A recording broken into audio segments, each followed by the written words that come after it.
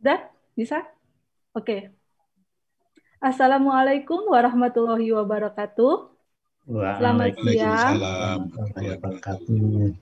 Selamat siang Bapak Ibu semuanya. Salam sejahtera bagi kita semua. Selamat datang saya ucapkan kepada seluruh hadirin yang telah bergabung di ruang virtual kali ini. Puji syukur kita panjatkan kehadirat Allah Subhanahu wa taala Tuhan Yang Maha Esa karena hanya atas kehendaknya lah kita dapat hadir pada acara Sarasehan Sejarah dalam rangka Disnatalis Faperta UGM ke-74. Selamat siang kepada hadirin yang telah bergabung di acara hari ini. Boleh saya diberitahu ini mungkin angkatan berapa saja yang sudah hadir atau dari daerah mana saja? Bisa di chat di kolom chat silahkan. Tentu senang sekali ya Bapak dan Ibu ini bisa melihat wajah-wajah kawan lama atau dosen-dosen yang sudah lama tidak berjumpa, meskipun saat ini kondisinya secara virtual, tapi tidak mengurangi makna dari silaturahmi yang uh, akan kita lakukan hari ini. Saya Kartika, staf Departemen Budidaya Pertanian, Fakultas Pertanian UGM yang akan memandu jalannya acara hari ini. Tema Sarasehan Sejarah hari ini adalah menjaga marwah berbakti pada negeri lintas generasi Fakultas Pertanian UGM. Fakultas Pertanian UGM itu didirikan pada awal kemerdekaan NKRI dengan jiwa semangat perjuangan yang kental untuk berbakti pada negeri demi kesejahteraan seluruh warga bangsa, khususnya para petani. Dalam perjalanan sejarah panjangnya Fakultas Pertanian UGM, pada tahun 2020 ini genap berusia 74 tahun. Selama masa itu, Faperta UGM telah berhasil menolehkan prestasi dari waktu ke waktu sebagai wujud berbakti pada negeri tercinta Negara Kesatuan Republik Indonesia. Sesuai dengan tema hari ini, maka hari ini telah hadir narasumber yang inspiratif dari berbagai lintas generasi. Harapannya generasi milenial masa kini mampu melanjutkan tongkat estafet perjuangan dari generasi sebelumnya. Yang pertama, saya akan menyapa Insinyur Sinar Hadi. Selamat siang, Pak Sinar. Selamat siang, selamat siang. Pak Sinar ini merupakan purna tugas dosen sosial ekonomi Fakultas Pertanian UGM yang mewakili generasi sebelum 1970, J, Pak.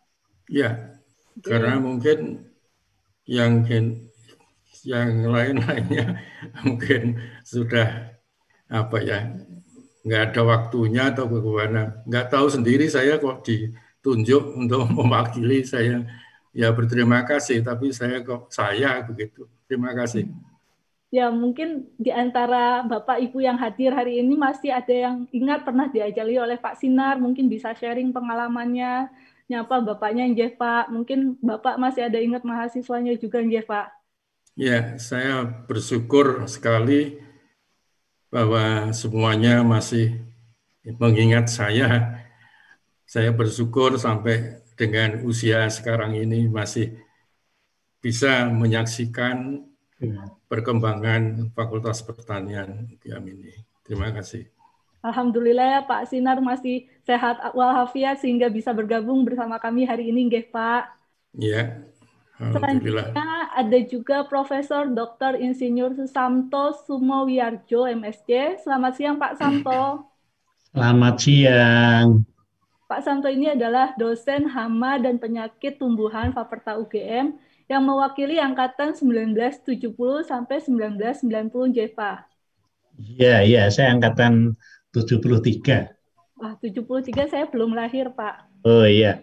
Paling ibumu masih pacaran waktu itu. Oh siap, mungkin ya Pak ya.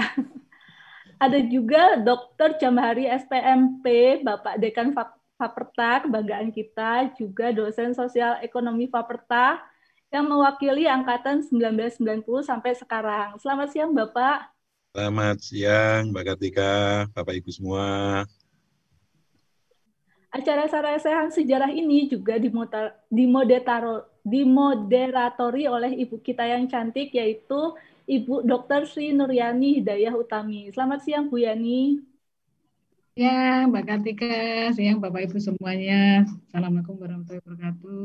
Waalaikumsalam, Waalaikumsalam. warahmatullahi wabarakatuh.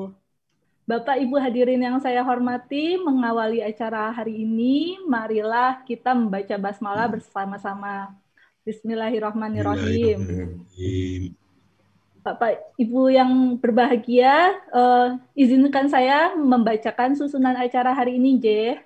Yang pertama adalah pembukaan, lalu ada pembacaan CV dari pembicara oleh moderator, setelah itu ada penyampaian materi, dilanjutkan nanti dengan sesi diskusi dan ramah tamah. Selanjutnya ada penyerahan kenang-kenangan secara virtual, dan nanti kita juga akan melakukan foto bersama secara virtual. Terakhir ada pengumuman dan penutupan. Tanpa banyak tutur kata lagi, mari kita mulai acara Sarasehan Sejarah dalam rangka DIS Fakultas Pertanian UGM ke-74. Saya serahkan acaranya kepada Ibu Sri Nuryani selaku moderator. Silahkan Bu Yani. Terima kasih Mbak Kartika.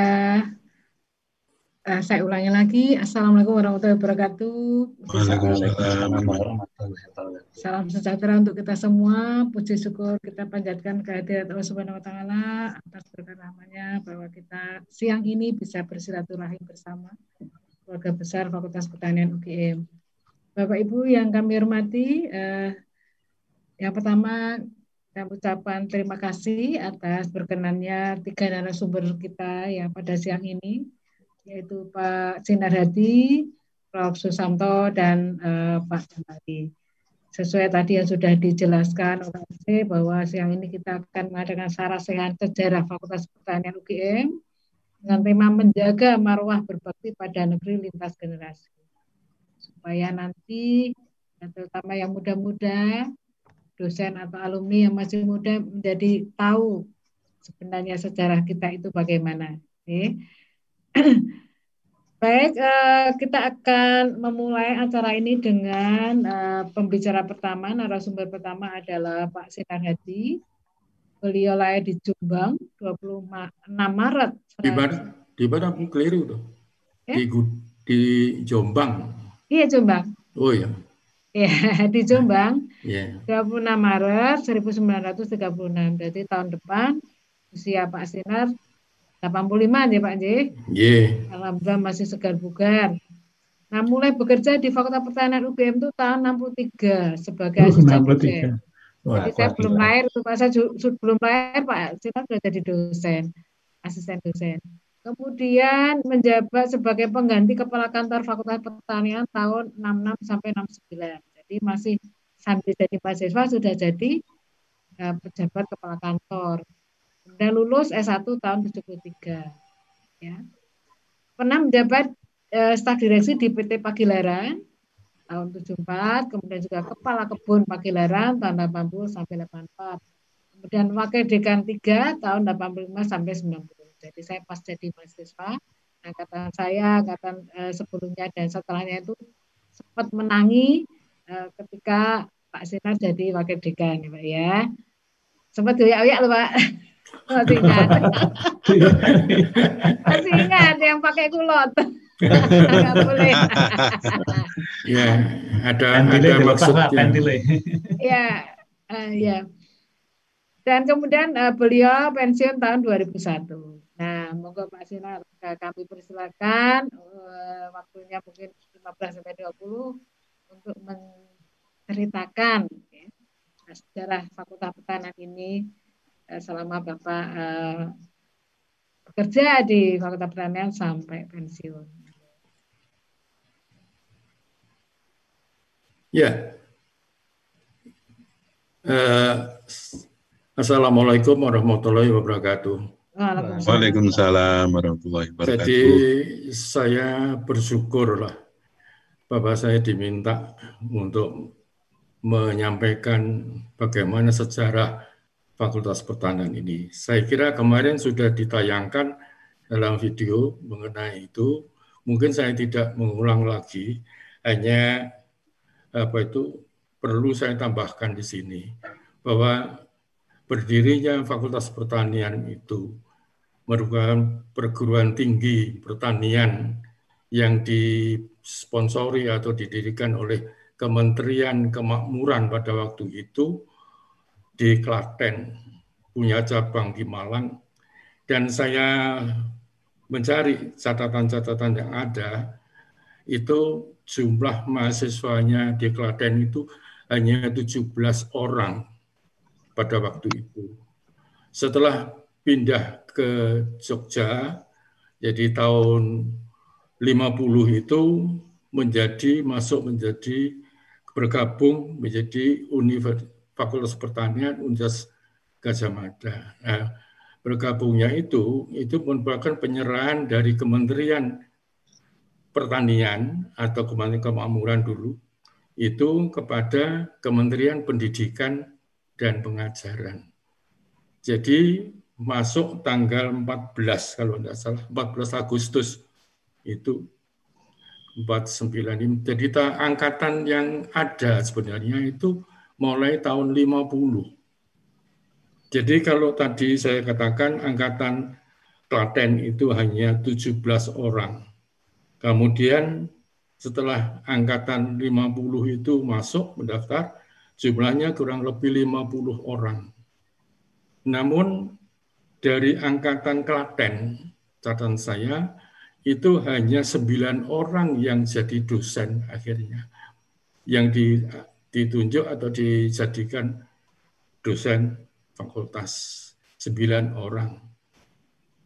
Namun sudah itu termasuk juga eh, kemudian ditambah dengan angkatan-angkatan berikutnya bertambah-tambah mungkin sekarang jumlahnya saya kurang tahu mungkin berapa ratus Pak Samto itu atau Pak Jamari oh, saya kurang Pak tahu Jamari, ya, mungkin jumlahnya banyak sekali karena kebutuhannya juga banyak masih banyak banyak.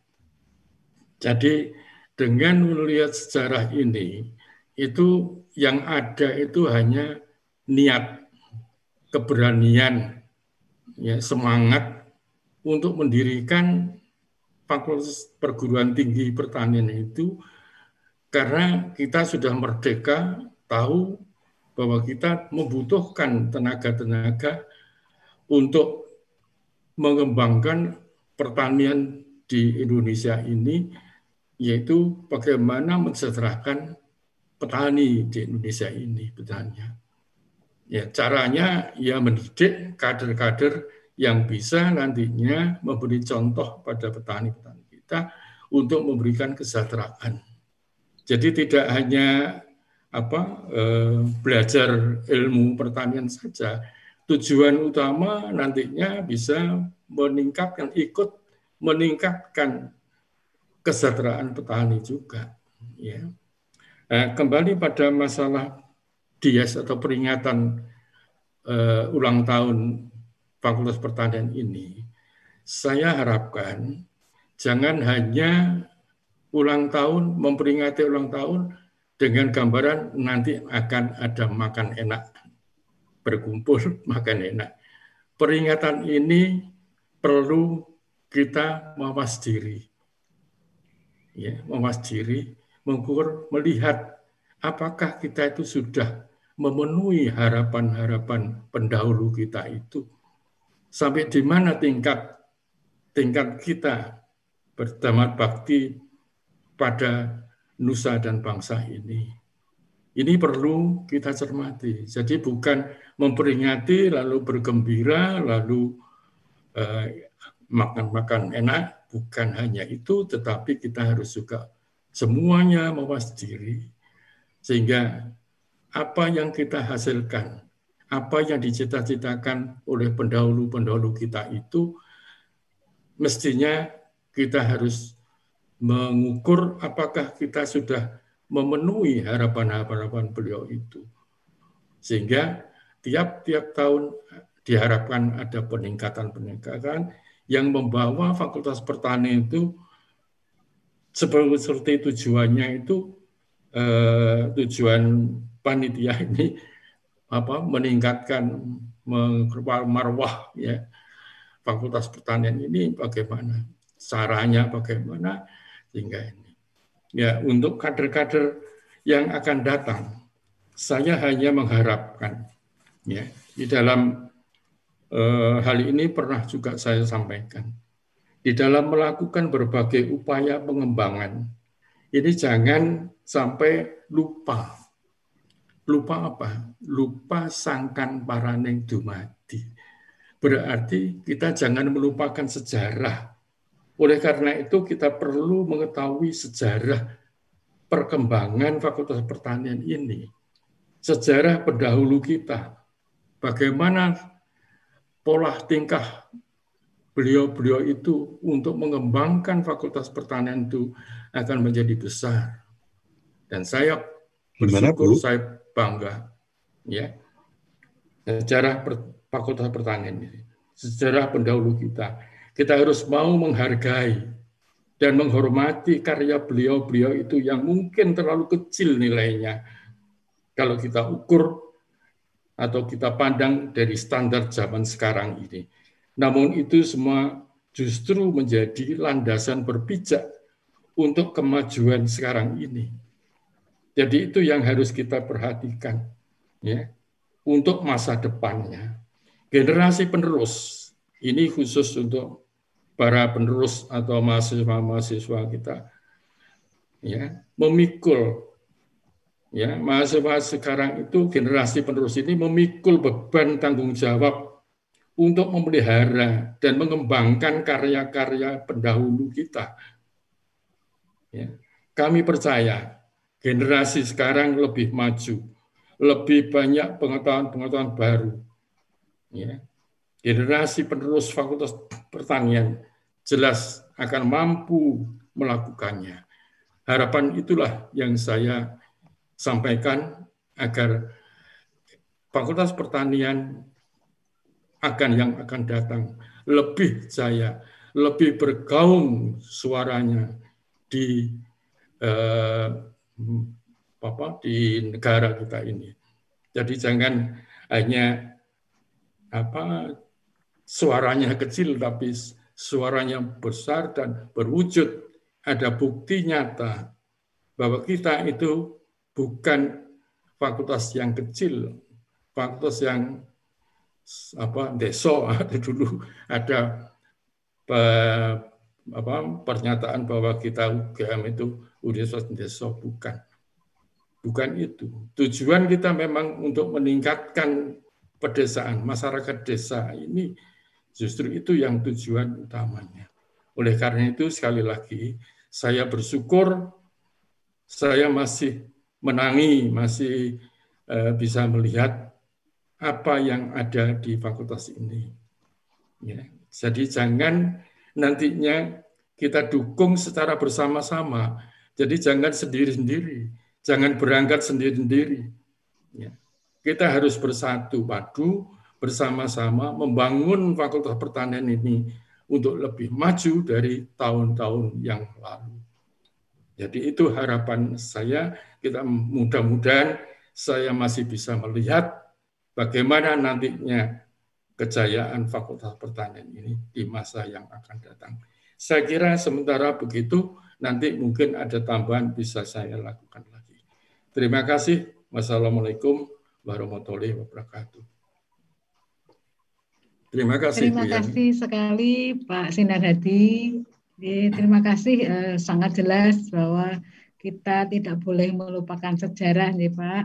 Ya. Tidak lupa sangkan paraning dumadi. Ya, dumadi. Oke, dumadi sebagai landasan berpijak untuk kemajuan bangsa. Uh, baik, uh, untuk selanjutnya kita akan uh, mendengarkan ya paparan dari Prof. Susanto, guru besar dalam ilmu penyakit tumbuhan. Pak Samto ini tahun 72 lulus dari SPMA Negeri Yogyakarta, kemudian lulus S1 Faperta UGM, eh, melanjutkan S2 di Saga University, kemudian lulus S3 dari Tokyo University of Agriculture.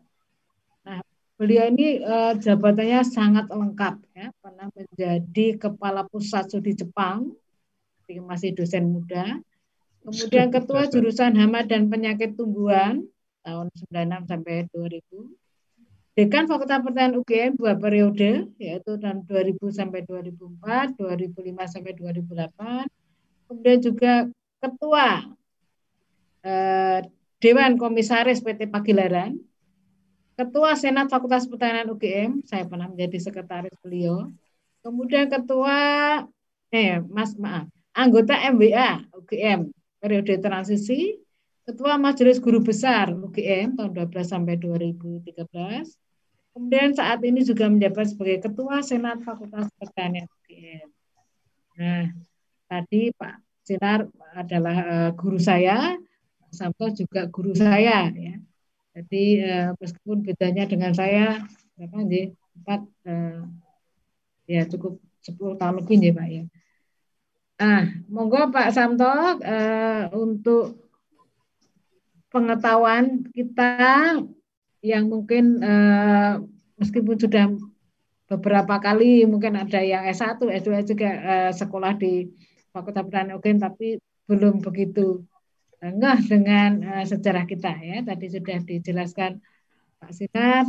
Nah, sekarang uh, monggo Pak Samto mungkin ada tayangan juga. Kami persilakan Prof Samto. Iya. Assalamualaikum warahmatullahi wabarakatuh. Selamat sejahtera bagi kita semua dan selamat siang. Pertama-tama saya mendapat kehormatan untuk bercerita tentang sejarah Fakultas Pertanian. Dan saya oleh panitia sebenarnya diminta untuk bercerita kinerja Fakultas Pertanian apa ya prestasi antara tahun 70 sampai tahun 90 itu saya terima karena saat itu saya banyak yang nggak tahu karena masuk saya tahun 73 kemudian datang dari luar negeri tahun 1990. Tapi karena banyak catatan, ya, akan saya sampaikan. Uh, saya ingin mengingatkan pula bahwa dalam sejarah ini hari ini sangat penting karena 57 tahun yang lalu Fakultas Pertanian dan Kehutanan ini dipisah menjadi Fakultas Pertanian, Fakultas Teknologi Pertanian dan Fakultas dan hari ini ya mestinya harus ini ada sajengnya besar nih, mungkin ingkongnya gajah atau apa ini harusnya, karena kita ada punya melahirkan dua fakultas besar ini. Nah, uh, kalau tadi apa uh, mengenai sejarah ini sebenarnya kan sudah ada videonya, ada bukunya yang macam-macam dengan sudah dapat kita baca lah. Tapi pesannya Pak apa panitia des Bagaimana supaya orang-orang muda nggak lupa sejarah seperti tadi disampaikan oleh Pak Sinar. iya, iya. Uh, tapi harus diingat bahwa apa? Ya kita bagian dari sejarah, tapi ya dalam mengelola fakultas kita menghadapi hal yang lain. Yang minimal yang sudah terjadi itu dapat dipakai sebagai pertimbangan. Uh, tadi disebutkan oleh Bu Yani, saya alumni SPMA dan sekolah di sini. Ini menarik karena SPMA Negeri Yogyakarta yang salah satu guru saya juga Pak Hinarhati ini duduk di SPMA ini guru yang sangat disiplin ya. Saya Pak Sinar lewat saja sudah takut dulu waktu di SPMA. itu ternyata kakak beradik. Jadi sama-sama dilahirkan di Klaten. Apa eh, Fakultas Pertanian ini lahirnya 46 di Tegalyoso itu. Rumah sakit Tegalyoso kalau SPMA itu di Tegal Gondo itu tahun 47 jadi eh, kakak beradik orang tuanya adalah Kementerian Kemakmuran. Ini yang menarik. Nah, terkait sejarah uh, saya kebetulan pernah bersama-sama dengan dekan Fakultas Ilmu Budaya itu ke Keraton. Nah, ini menarik ini. Nah, di keraton itu ada apa itu ya gambar nah, naga dua itu ubet-ubetan itu coba gambar oh, tolong di yang di, di slide saya yang pertama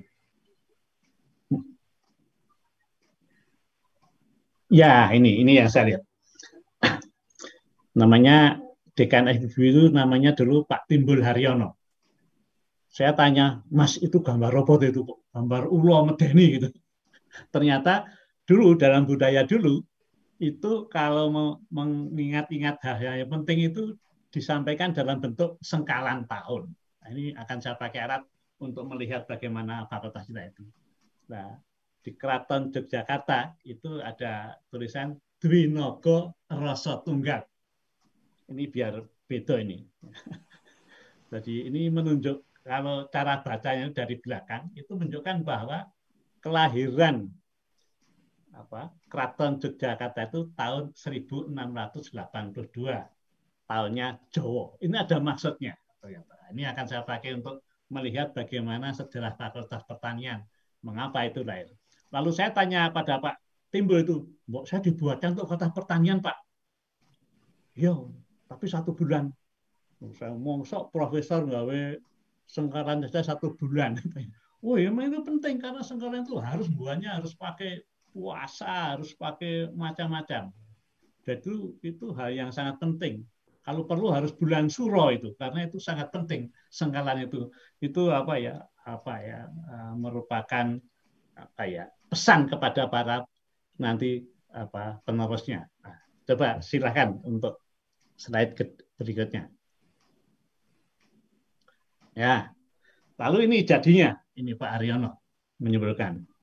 Kalau fakultas pertanian itu kalau ditulis dalam sengkalan itu namanya Perksa Suci Gapuraning Wiji. Waduh, didorong ngerti, mesti didorong ngerti. Mudah-mudahan tidak ngerti. Tapi memang saya buat biar nggak ngerti, karena kalau lianya saya mesti mudah kalah dengan anak muda ini. saya buat yang. Jadi, Perksa Suci Gapuraning Wiji. Workso itu nilainya 6, artinya pohon yang besar, yang pohon yang hebat. Suci itu nilainya 4, artinya bersih, suatu keindahan. Cantik. Ya, kalau di sini ya seperti Bu Yani itu lah. Iya. Cantik. Lalu Gapuro itu nilainya 9, artinya pintu gerbang. Lalu wiji itu nilai satu, artinya benih atau bibit, bibit yang unggul dan sebagainya. Jadi ini ini hanya udah adik saja ini.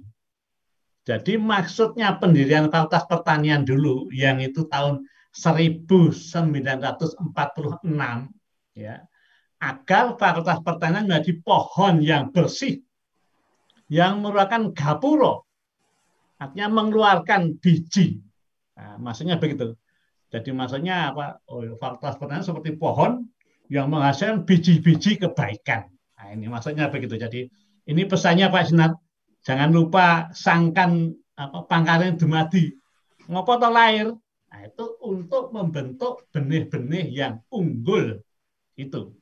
Karena dulu waktu kita merdeka itu sarjana pertanian itu hanya belasan yang ke, ke bangsa Indonesia sehingga ada gapura ini. Jadi sekarang fakultas pertanian sudah menjadi pohon yang berkembang yang luar biasa. Nah, itu diharapkan menjadi pintu gerbang menghasilkan bibit-bibit yang unggul. Bibitnya itu bibit dalam arti luas. Ini pesannya supaya ini kita ingat untuk apa lahir? Untuk menghasilkan sesuatu yang unggul varietas kita ini. Nah, kalau pesan ini dapat kita tangkap, ya, saya kira kita menghadapi apa pun itu nggak takut. Ranking-ranking kan nggak takut. Ya, kalau sudah bisa menangkap pesan ini. Nah, misalnya aja, ya, Pesan yang pertama ini kan menjadi pohon. Jadi kita sudah menjadi pohon yang besar, berkembang. Mari kita bersatu, tadi sudah diminta oleh Pak Sinar itu. Meskipun asalnya bermacam-macam, kalau sekarang sudah tidak harus dari UGM semua, ada yang alumni IPB, ada yang alumni Unibro, ada yang alumni macam. Tapi hendaklah menjadi satu pohon, ya, jangan tercerai-berai. Ini dan menghasilkan sesuatu. Ya, artinya fakultas pertanian harus produktif. Coba saja kita lihat.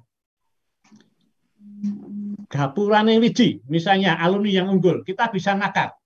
Sampai sekarang sudah berapa alumni yang dihasilkan oleh fakultas ini? Yang unggul-unggul. Ya. Bisa kita lihat ya. Misalnya sudah berapa pengusaha yang dihasilkan. Nah, ini yang dimaksud dulu. Supaya fakultas pertanian merupakan gapuro, gerbangnya orang-orang yang hebat.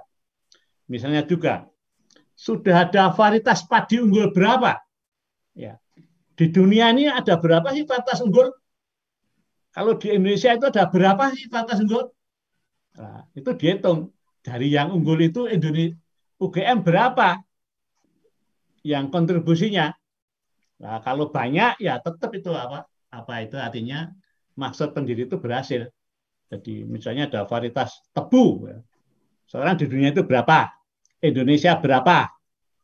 Lalu keluaran UGM pertanian berapa? Nah, ini ditanyakan oleh oleh sengkalan ini. sudah belum punya belum tebu unggul. Kedelai, nah, kedelai itu ada berapa varietas? Sekarang sudah punya berapa varietas, misalnya begitu. Lalu konsep, sudah punya konsep apa kita?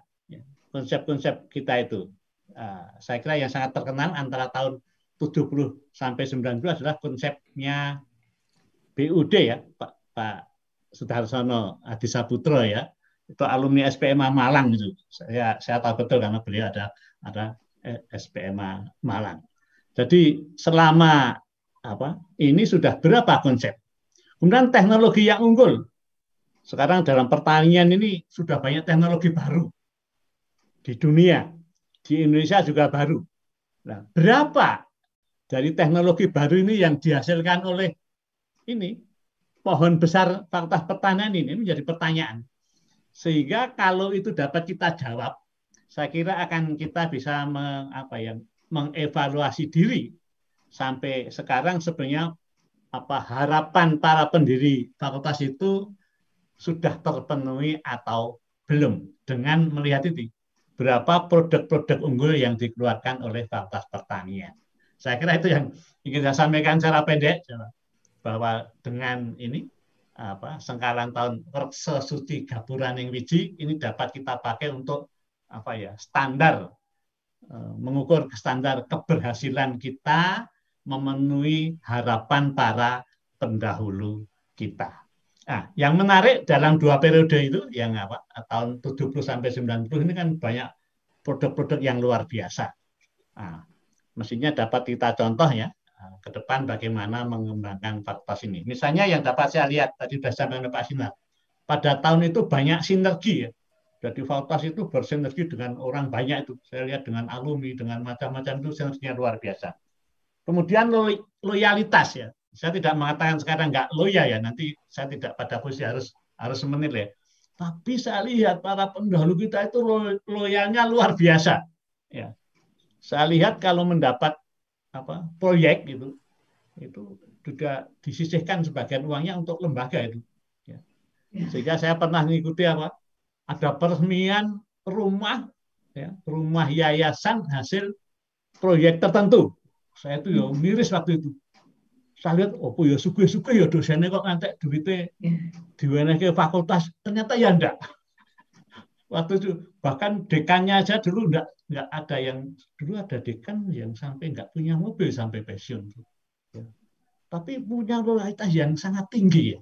Saya kira ini harus kita ya kita evaluasi sekarang ada enggak yang seperti itu ya jadi menyisihkan sebagian apa uh, keuntungan dari proyek tapi waktu itu masih sistem proyek itu untuk kepentingan lembaga ya, itu luar luar biasa ya itu salah satu kuncinya dan Kemudian juga saya lihat dulu itu keberagamannya itu tinggi. Ya. Dosen itu banyak yang hampir dari seluruh Indonesia itu. Eh, sekarang karena ya situasi ya, mungkin UGM ini sudah menjadi hampir menjadi sekarang universitasnya menciut dari nasional menjadi ke Jogja dan Jawa Tengah, sehingga dosennya itu saya lihat ya hanya sekitar Bantul, saya, Pak Dekan, dan Nah, saya kira ke depan ya harus kita kembangkan lagi supaya kita menjadi universitas nasional. Saya kira itu aja sebagai apa apa uh, pemicu aja. Monggo silahkan Piani. Terima kasih. Wassalamualaikum warahmatullahi wabarakatuh. Salam warahmatullahi wabarakatuh. Assalamualaikum. Terima kasih uh, Pak Samto berarti yang ada di anu ini di satu frame ini bantul Pak. Pak Samto bantul, saya bantul, Pak Dekan bantul uh, pong ya. Baik, uh, jadi tadi sangat menarik ya bahwa ternyata uh, pendahulu pendahulu kita senior senior kita itu sangat sangat luar biasa ya. Dengan kondisi artinya tidak berkelebihan tapi menyisihkan ya. Sisa dari namanya dulu proyek itu untuk misalnya rumah yayasan ya di, untuk eh, dosen-dosen uh, muda yang bahkan sekarang masih dinikmati ya. Dosen-dosen muda kita yang kaum milenial ini masih bisa menikmati uh, dengan menyewa rumah yang sangat murah ya di rumah yang cukup besar di Sawesari ya dan juga uh, banyak banyak uh, hal-hal yang dulu memang uh, diwariskan tidak hanya uh, jiwa raga ya materi material Baik, nanti kita ada sesi diskusi. Sekarang saya uh, Pak Dekan kita. Nah, kalau tadi Pak Samto pada saat saya jadi mahasiswa menjadi uh, dosen muda, kalau Pak Dekan ini uh, mahasiswa saya karena sekarang saya beda tujuh tahun, tapi sekarang saya pembantu beliau. Jadi Pak Jamari ini lahir di Bantul, 18 Maret 73 lahirnya. Jadi sekarang baru uh, umur 43 jadi dulu dengan muda ya waktu menjabat pertama lulus S1 Fakultas Pertanian UGM tahun 95, S2 juga UGM 98, kemudian S3-nya di Tohoku, Jepang. Menjabat dekan dua periode, yaitu tahun 2012 sampai 2016, dan eh, saat ini 2016 sampai 2021, jadi sampai tahun depan. Kemudian uh, di lingkungan uh, nasional mendapat sekjen Forum Komunikasi Perguruan Tinggi Pertanian ketuanya dekan-dekan Fakultas Pertanian se-Indonesia itu tahun 15 sampai uh, 2017 kemudian sekarang lagi jadi sudah kemarin diganti Pak dari Unpad sekarang menjabat lagi untuk sampai tahun depan. Kemudian juga komis, komisaris utama PT Pagilan. Nah, monggo Pak Dekan, uh, kemudian juga uh, ahli BRG, kemudian juga di Happy dan seterusnya. Silakan Pak Dekan. Ini mewakili angkatan muda.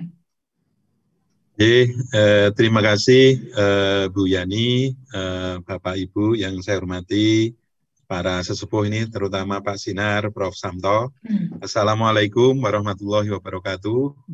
Selamat siang dan salam sejahtera untuk kita semua. Kalau tadi uh, Prof. Samto menyampaikan ini angkatan 73, saya ini kelahiran 73. Lahirnya yang 73. Jadi ternyata lahirnya 73, ketemu juga masih di tempat kerja masih aktif nih Pak Samto. ya. Kemudian Pak Sinar ini saya juga eh, sempat eh, diajar oleh Pak Sinar, artinya beliau ngajar dasar-dasar manajemen waktu itu. Jadi eh, sempat eh, beliau masih aktif, eh, saya apa namanya, beliau waktu itu WD, anu, WD kemahasiswaan.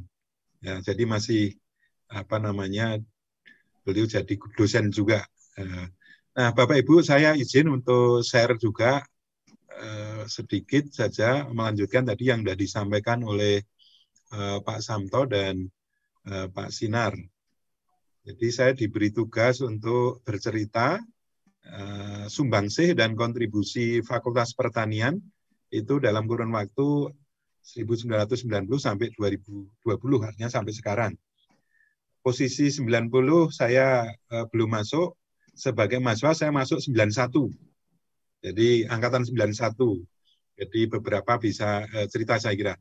Nah, yang diceritakan oleh uh, Prof. Samto tadi uh, sangat pas dengan uh, saya juga membuat alur seperti ini. Jadi kalau bicara sumbangsih uh, Fakultas Pertanian memang uh, bisa dilihat dari dua hal ini. Jadi tentunya uh, output dari kegiatan uh, pembelajaran di kampus kita ini ada alumni atau sumber daya manusia. Yang kedua itu teknologi. Ini sebagai research product atau produk dari uh, penelitian maupun pengabdian kita. Karena tadi uh, mengabdi untuk negeri ya. Jadi kita ini dituntut memang tridharma, pendidikan, penelitian, pengabdian. Nah, produk utama kita tentunya ini SDM yang unggul ya, alumni yang unggul yang apa pengpengan tadi ya. Uh, tapi selain itu karena kita juga melakukan uh, penelitian baik skripsi untuk S1 kemudian juga Eh, tesis maupun disertasi, eh, maka di situ juga tentunya ada eh, by produknya. Jadi ada suatu teknologi, entah itu produk teknologi berupa barang, maupun itu teknologi budidaya, jadi bisa varietasnya, bisa cara budidayanya, cara pengendalian OPT-nya, atau menyuburkan tanahnya, ataupun teknologi berupa rekayasa sosial kelembagaan, ataupun model-model pemasaran misalnya atau pembiayaan atau yang lain. Tentunya kalau di Indonesia tadi Prof Samto menyampaikan sudah ada berapa dan warna dari kita itu berapa.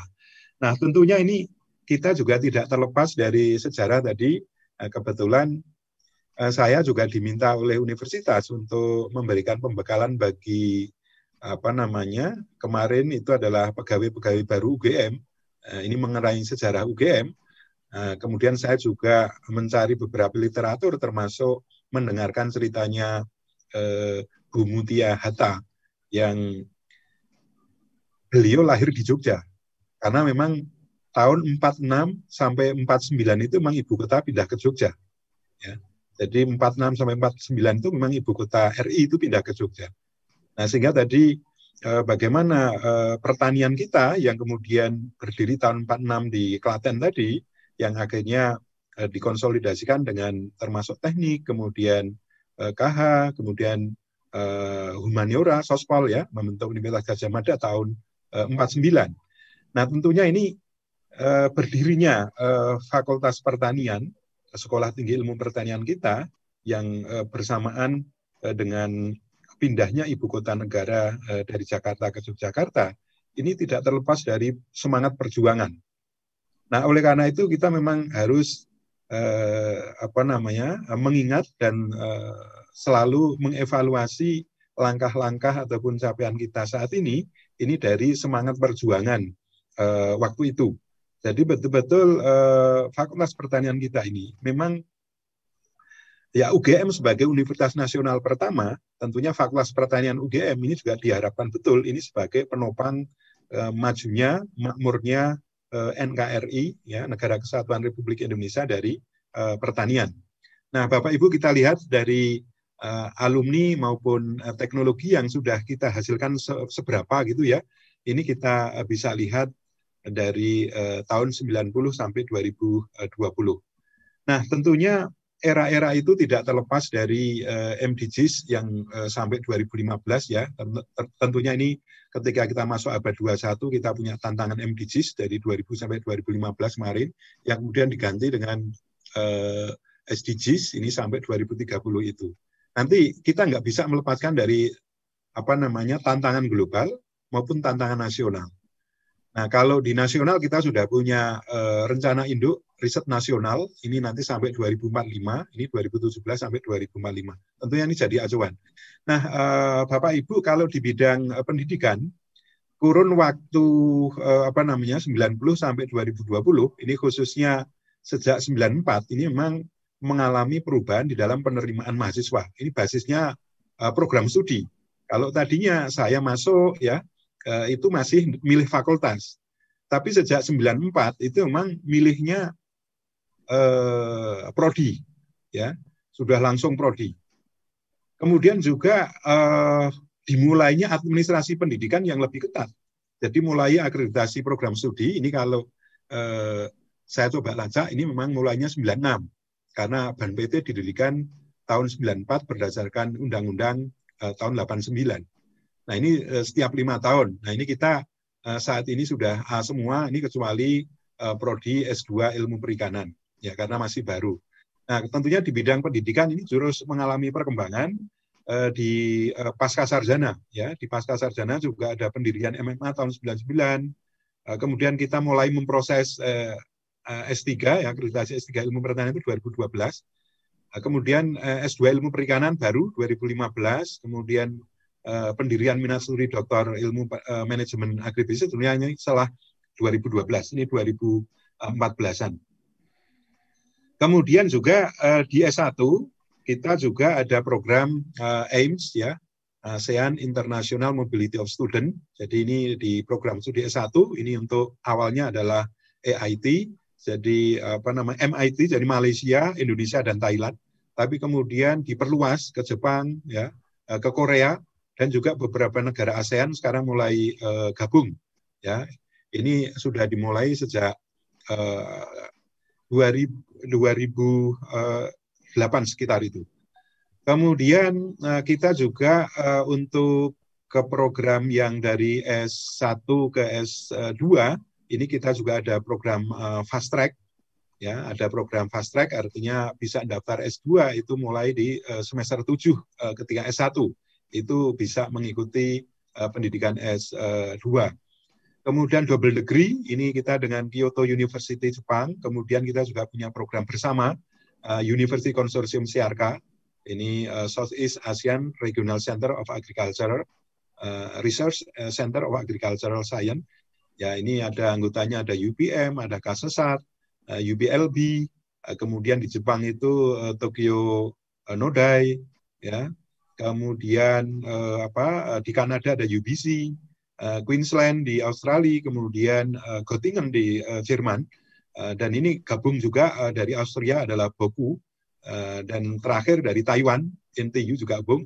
Ini Master of Science uh, Food Security and Climate Change. Ini uh, kita ada program itu. Nah, kerjasama uh, pendidikan penguatan SDM dengan industri ini dengan Sugar Group Company, dengan PTPN, dengan Sanghyang Sri, dengan BRI, dengan Dijenbud, kemudian juga membina pasca sarjana uh, Halu Oleo, Universitas Halu Oleo Kendari, kemudian juga Untan, uh, Universitas Tanjung Pura. Ini uh, dalam perkembangan di bidang pendidikan.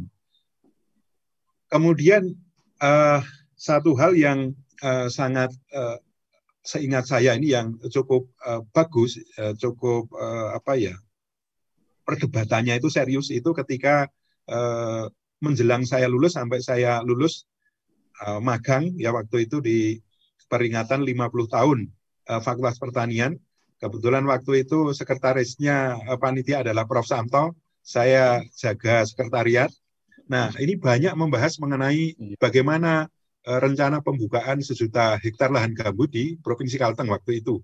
Nah, dan dari Fakultas Pertanian, uh, konsep dan uh, positioningnya jelas uh, bahwa gambut ini memang harus hati-hati sekali untuk pembukaannya karena uh, isu lingkungan uh, ini akan sangat tinggi dan ternyata memang terbukti betul rem yang tadinya itu sudah disampaikan oleh eh, para apa namanya profesor dan pendahulu kita di eh, Fakultas Pertanian khususnya dari eh, tanah waktu itu dimotori Pak Tejo, Prof. Tejo, saya kira terbukti betul apa yang disampaikan waktu itu bahwa satu juta hektar lahan gambut di Provinsi Kalteng memang boleh dikatakan itu contoh yang gagal gitu ya. Di dan itu sangat kontributif kita sebetulnya, eh, tapi memang tetap dilakukan. Nah, kemudian eh, di tahun 2000 eh, sampai 2010, yang ini tadi yang 2090 sampai 2000, ini 2000 sampai 2010 itu kita hijrah. Jadi jadi ini tahun uh, Suro ini. ini kita juga perpindahan kampus yang tadinya di Sekip ini ke kita ke sekarang di Bulak Sumur ini. Jadi ini pindah uh, kalau tidak salah ini di tahun 2002 uh, eh, waktu itu saya juga sedang uh, sekolah ya sedang sekolah tapi ya kira-kira di awal uh, 2000 ini kita uh, pindahan ke sini. Nah, kemudian salah satu uh, kontribusi kita juga di kurun waktu tersebut adalah uh, pelepasan kedelai Malika. Ini Prof Samto saya kira bisa cerita lebih banyak begitu karena waktu itu beliau uh, jadi dekan di Fakultas Pertanian. Jadi eh, kedelai Malika yang sekarang eh, apa namanya eh, dipakai untuk eh, bahan baku kecap hango ya. Jadi kedelai Malika itu adalah eh, dilepaskan tahun 2007. Eh, kebetulan bukti pelepasannya ada di sebelah saya itu. Nah, tantangan yang lain, eh, lingkungan yang lain, eh, Bapak Ibu. Nah, ini mulai kalau tadi akreditasi program studi di dalam negeri itu mulai tahun 96. Ini kalau kita lihat mulai uh, awal 2000 ya 2004 ya ini mulai bermunculan pemeringkatan universitas secara internasional. Ada Webometric ini yang basisnya di Spanyol itu tahun 2004. Kemudian uh, QS World University Ranking ini juga 2004 ini basisnya ada di uh, Inggris. Kemudian for ICU jadi for International College and University ini mulai uh, 2005. Dan tentunya seperti yang eh, sudah eh, sering kita diskusikan, eh, apa namanya, kita harus berkinerja sesuai dengan apa namanya hitohnya waktu kita didirikan sekolah tinggi ilmu pertanian fakultas pertanian itu didirikan ya nanti ranking-ranking ini mestinya ini suatu hal yang konsekuensi dari kinerja baik kinerja dari alumni yang kita hasilkan kemudian juga apa namanya teknologi yang sudah kita hasilkan. Nah, beberapa di bidang perikanan ya ini di tahun 2010 ini tentang pengembangan vaksin ikan pertama di Indonesia ini dapat paten yaitu paten vaksin polivalen Vibrio ini tahun 2010. Nah, ini Bapak Ibu Malika ya atau kedelai Malika tadi dengan Kecabango memang ini ini di tahun 2000 eh, sebelum 2007 eh, Malikanya dilepas 2007 tapi proses ini diinisiasi sebelum-sebelumnya. Kemudian untuk masih untuk perikanan ini eh, pelepasan nilai unggul nilasa ini juga eh, dilakukan tahun 2012 ini dengan SK Menteri eh, Kelautan dan Perikanan. Nah, kemudian periode 2010-2020 ini kita uh, ada pendaftaran 6 galur tomat ya. Kemudian paten pengendalian uh, hayati penyakit layu bakteri tembakau ini juga tercatat di uh, kita di laporan uh, fakultas. Kemudian 2019 kemarin kita juga baru saja melepas 7 galur teh uh, ya yang ini proses uh, penelitiannya sebetulnya dilakukan uh, sebelum-sebelumnya.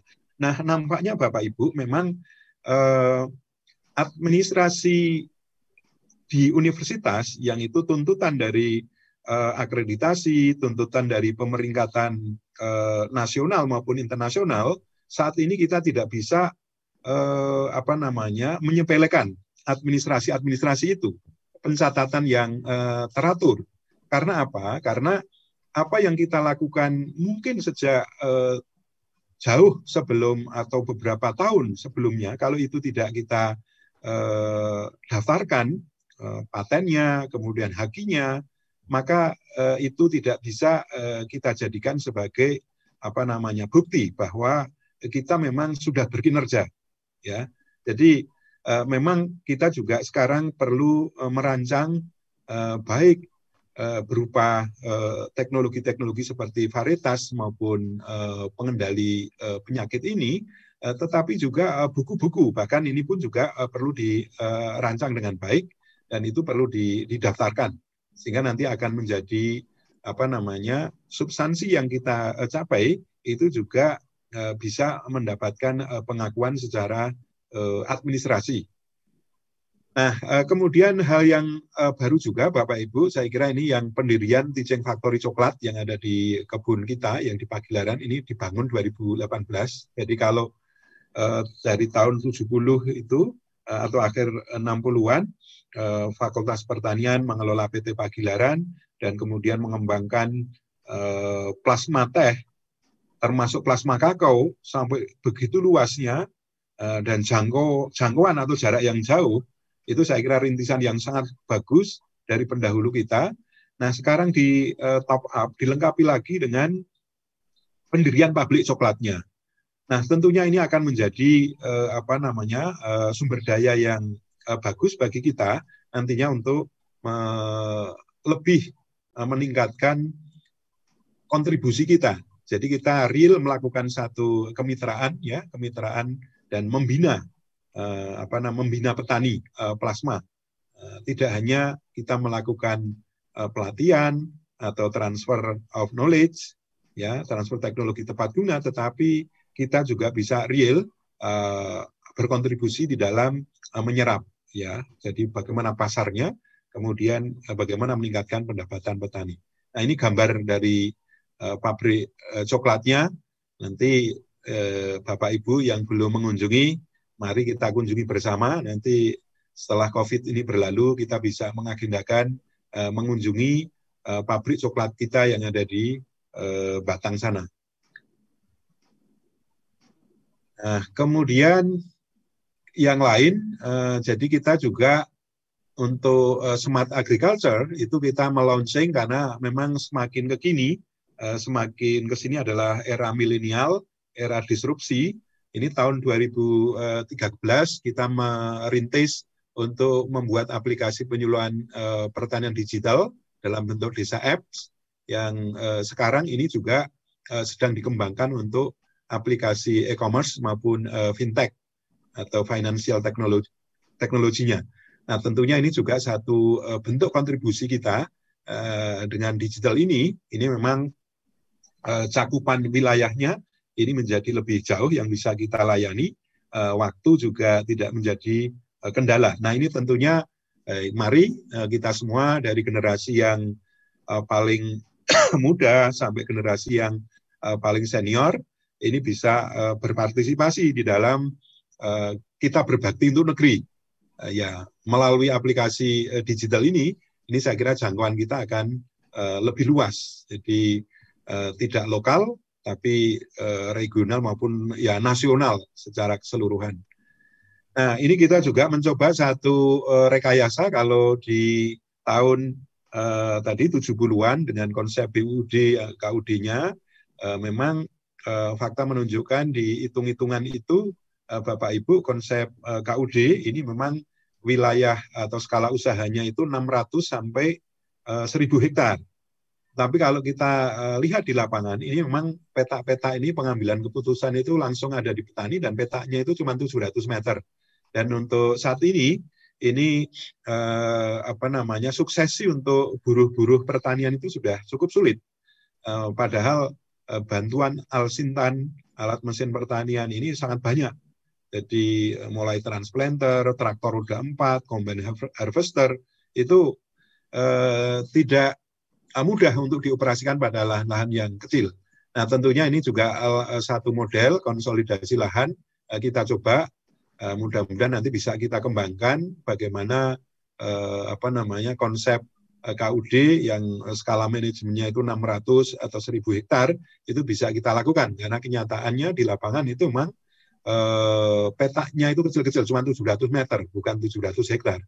Nah ini harus kita dorong uh, manajemennya sampai betul-betul uh, sesuai dengan konsep uh, KUD yang kita sudah dirintis oleh pendahulu kita tahun uh, 70-an. Nah, kemudian di tahun 2014-2019 ya atau sebelum ini Bapak Ibu tentunya kita juga berkontribusi kita juga bagaimana uh, ketika uh, terjadi uh, tsunami di Aceh ini juga fakultas membentuk tim untuk ke Aceh kemudian ketika gempa bumi Jogja tahun 2006 ini juga membentuk tim untuk kita berkontribusi memulihkan livelihood dan juga sektor pertanian dan pangan baik di Aceh maupun di di DIY. Nah, kemudian di tahun 2014-2019 kita banyak kalau dulu uh, pernah ada program BIMAS di tahun 70 80-an, BIMAS, INMAS, INSUS, Supra INSUS. Nah, ini di tahun 2014 2015 19 kita juga melakukan UPSUS Pajale, jadi upaya peningkatan uh, upaya khusus untuk meningkatkan produksi padi jagung kedelai. Ya, jadi uh, kita menerjunkan mahasiswa dan didampingi oleh para uh, dosen. Jadi banyak aktivitas yang uh, kita lakukan di lapangan, termasuk misalnya ini uh, pendampingan untuk pembuatan Basilus uh, Plus, kemudian penyiapannya seperti apa, ini di lapangan dilakukan, bagaimana aplikasinya, kemudian tentunya ada aplikasi teknologi tepat guna ini dalam pembibitan juga dilakukan, Eh, di petani seperti ini. Eh, hasilnya bisa dilihat yang menggunakan dan yang tidak di sebelahkan seperti ini. Baik di semua wilayah. Jadi kita kebagian di DIY dan Jawa Tengah. Ini untuk aplikasi mikoriza untuk jagung di Blora. Ini juga dilakukan. Hasilnya juga cukup mengembirakan teknologi-teknologi tepat guna yang di apa namanya ditemukan oleh Bapak Ibu di sini. Ada beberapa foto yang lain yang kita belum tampilkan, misalnya uh, metarisium, ya, uh, kemudian legin dan seterusnya. Ini juga uh, temuan uh, dari Bapak Ibu dosen di uh, kita bersama pasukan mahasiswanya. Ini untuk aplikasi Mikoriza, bagaimana yang tidak diberi dan bagaimana yang diberi, kemudian lalu dijejerkan untuk masa yang sama ternyata memang berbeda. Nah, ini Eh, beberapa yang dilakukan ini untuk eh, lahan yang bernaungan karena apa? Karena untuk lahan sawah ini sudah sangat sulit sehingga bagaimana bisa uh, ber uh, diaplikasikan di tempat yang perhutanan sosial misalnya di bawah naungan. Saya kira ini juga tantangan bagi kita karena uh, pemerintah juga sudah mengalokasikan uh, beberapa uh, lahan yang namanya perhutanan sosial itu dalam wilayah yang Eh, dengan naungan. Saya kira ini teknologi-teknologi yang uh, di naungan saya kira juga penting bagi kita. Ya, ini uh, di Gunung Kidul ini hasil uh, ujinya. Ini di Bantul, Gunung Kidul. Nah, selain itu Bapak Ibu, kita yang uh, di SAEP ini kita juga secara rutin karena era apa namanya pandemi Covid. Di era pandemi Covid pun ini kita juga melakukan beberapa uh, program uh, pemberdayaan masyarakat. Uh, besok Kamis kita rencana ke Kulon Progo. Ada juga yang di kota ya. Jadi di kota gede kemudian ada di apa namanya Kecamatan Keraton ini juga urban farming ini kita melakukan di situ. Kita juga uh, kerjasama dengan apa namanya Majelis Pemberdayaan Muhammadiyah MPM ya. Kemudian itu di Gunung Kidul untuk warga yang uh, apa namanya cacat begitu yang berkebutuhan khusus ini juga kita uh, lakukan pemberdayaan. Nah melalui bincang uh, desa uh, dikoordinir Mbak Raya melalui desa F ini kita juga uh, rutin melakukan diskusi dan uh, sudah yang ketujuh saya kira untuk bincang desa ini. Nah, tentunya pemberdayaan yang sifatnya apa praktis untuk memenuhi kebutuhan uh, rumah tangga untuk masa pandemi Covid ini sangat penting bagi uh, uh, konsumen ataupun masyarakat.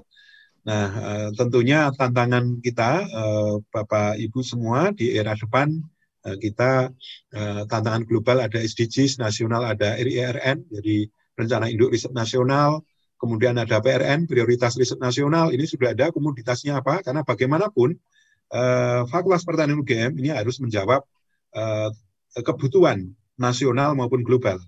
Ya. Uh, sehingga ini harus uh, kita jadikan uh, acuan uh, selain kita menjalankan unggulan kita. Jadi uh, nasional yang sudah disebut di sini, di PRN misalnya, memang padi, jagung, kedelai, uh, kemudian bawang merah, kemudian Eh, bawang putih, eh, gula, minyak sawit ini menjadi disebut di dalam PRN kita sehingga kita juga harus berkontribusi pada komoditas uh, nasional ini. Tapi kita juga harus mengembangkan keunggulan kita yang tidak dimiliki yang lain. Ya teh kemudian kakao ini saya kira keunggulan kita yang tidak dimiliki oleh yang lain. Tetapi yang nasional kita ini harus harus berkontribusi. Demikian pula kita juga harus berkontribusi uh, di wilayah kita. Nah, perlu kami sampaikan Bapak Ibu bahwa uh, sejak uh, DIY mendapatkan posisi keistimewaan, kita juga mengirimkan uh, tenaga pendamping SKPD yang ada di provinsi. Misalnya kita mengirim uh, dosen uh, perikanan untuk mendampingi SKPD Satuan Kerja Perangkat Daerah apa namanya Dinas Perikanan dan Kelautan. Kemudian kita juga mengirim pendamping kita Eh, sebagai tenaga ahli ini untuk mendampingi uh, dinas pertanian uh, dan ketahanan pangan. Kita juga mengirim orang kita untuk mendampingi di dalam perencanaan, jadi di Bapeda provinsi. Jadi kita mengirimkan itu dan kita juga mengirimkan dosen-dosen kita ini juga ke Jakarta tentunya sebagai narasumber tenaga ahli di dalam mereview undang-undang misalnya yang eh, terakhir itu sumber daya air itu eh, Pak Janggung saya kira terlibat eh, banyak di situ. Eh, kemudian kita juga eh, ada eh, dosen juga yang kita kirim untuk mengawal eh, bagaimana industri pergulaan eh, nasional, ya itu eh, kita juga mengirimkan. Kemudian kita juga menjadi eh, anggota dari eh, Pokja eh, Pokja ahli eh, Dewan Ketahanan Pangan eh, Nasional Nah, itu uh, kemudian di Dewan Kopi ya, di Dewan Kopi dan uh, kalau kita uh, termasuk yang tahun 90-an itu tanda petik mengingatkan mengenai pembukaan lahan gambut, ternyata memang di tahun 2015 itu kebakaran yang luar biasa, emisi karbon yang luar biasa sehingga Indonesia pun di apa namanya negosiasi internasional sering diserang karena kasus kebakaran lahan dan hutan. Nah, sehingga 2016 dibentuklah BRG Badan Restorasi Gambut dan kita uh, saat ini di situ sebagai ketua uh, Pokja Ahli uh, Badan Restorasi Gambut. Nah, tentunya ini uh, success story yang seperti ini ini perlu kita terus lanjutkan karena ke depan apalagi seiring dengan uh, bagaimana rencana pemerintah juga membuka food estate di ex PLG ini saya kira kita juga uh, perlu uh, apa namanya perlu cawe-cawe begitu ya. Uh, ini kita kita harus uh, lanjutkan terus. Uh, kemudian bagaimana uh, SLPHT uh, yang dirintis oleh teman-teman di uh, Plan Protection ini juga harus di apa namanya harus dikembangkan ya harus dikembangkan demikian pula BUD KUD yang dulu dirintis ini bagaimana kita selalu mengejas kenapa itu tidak berjalan dengan baik bagaimana supaya lebih cepat Nah, beberapa hal yang uh, tadi misalnya bagaimana konsolidasi lahan dan seterusnya, saya kira ini juga uh, perlu kita apa namanya terus kita kembangkan seiring dengan kebutuhan ini nasional maupun uh, global. Nah, itu saya kira uh, kita apa namanya dan kita juga sudah uh, punya MOU ya dengan apa namanya saya kira ada Jinbeng yang diletakkan di Piat ya karena piat ini bagaimana kita juga pendidikan kita ini harus didasarkan pada uh, infrastruktur yang ada di sekitar kita. Ya kalau tadi uh, sebetulnya di era 80-an kita juga ada uh, inovasi untuk lahan pasir. Uh, jadi waktu itu kita juga punya kerjasama dengan Purworejo ya. Itu itu juga ada teknologi bentonit yang itu bisa me, apa namanya diaplikasikan di uh, lahan pasir Nah, eh, tentunya dengan piat ini kita jinbeng untuk sayuran. Nah, ini tentunya mari eh, ini kita eh, perkuat ya. Ini kita perkuat juga. Oke. Saya kira ini uh, sisanya adalah foto-foto uh, bagaimana kita menghilirkan sampai ke level uh, apa namanya ke level uh, komunitas atau petani dan tantangan kita ke depan Bapak Ibu kita memang internal juga melakukan penataan seiring dengan penataan di UGM sebagai uh, eh, PTNBH, uh, eh, bagaimana harus uh, efisien juga. Uh, administrasi juga semakin dituntut. Kalau dulu tidak ada LKD, BKD, uh, nggak ada IBK yang menuntut administrasi, uh, sekarang juga riset ini juga harus uh, tidak hanya kita melakukan penelitian, tetapi juga harus uh, scientific recognition dan juga uh, apa namanya impact recognition.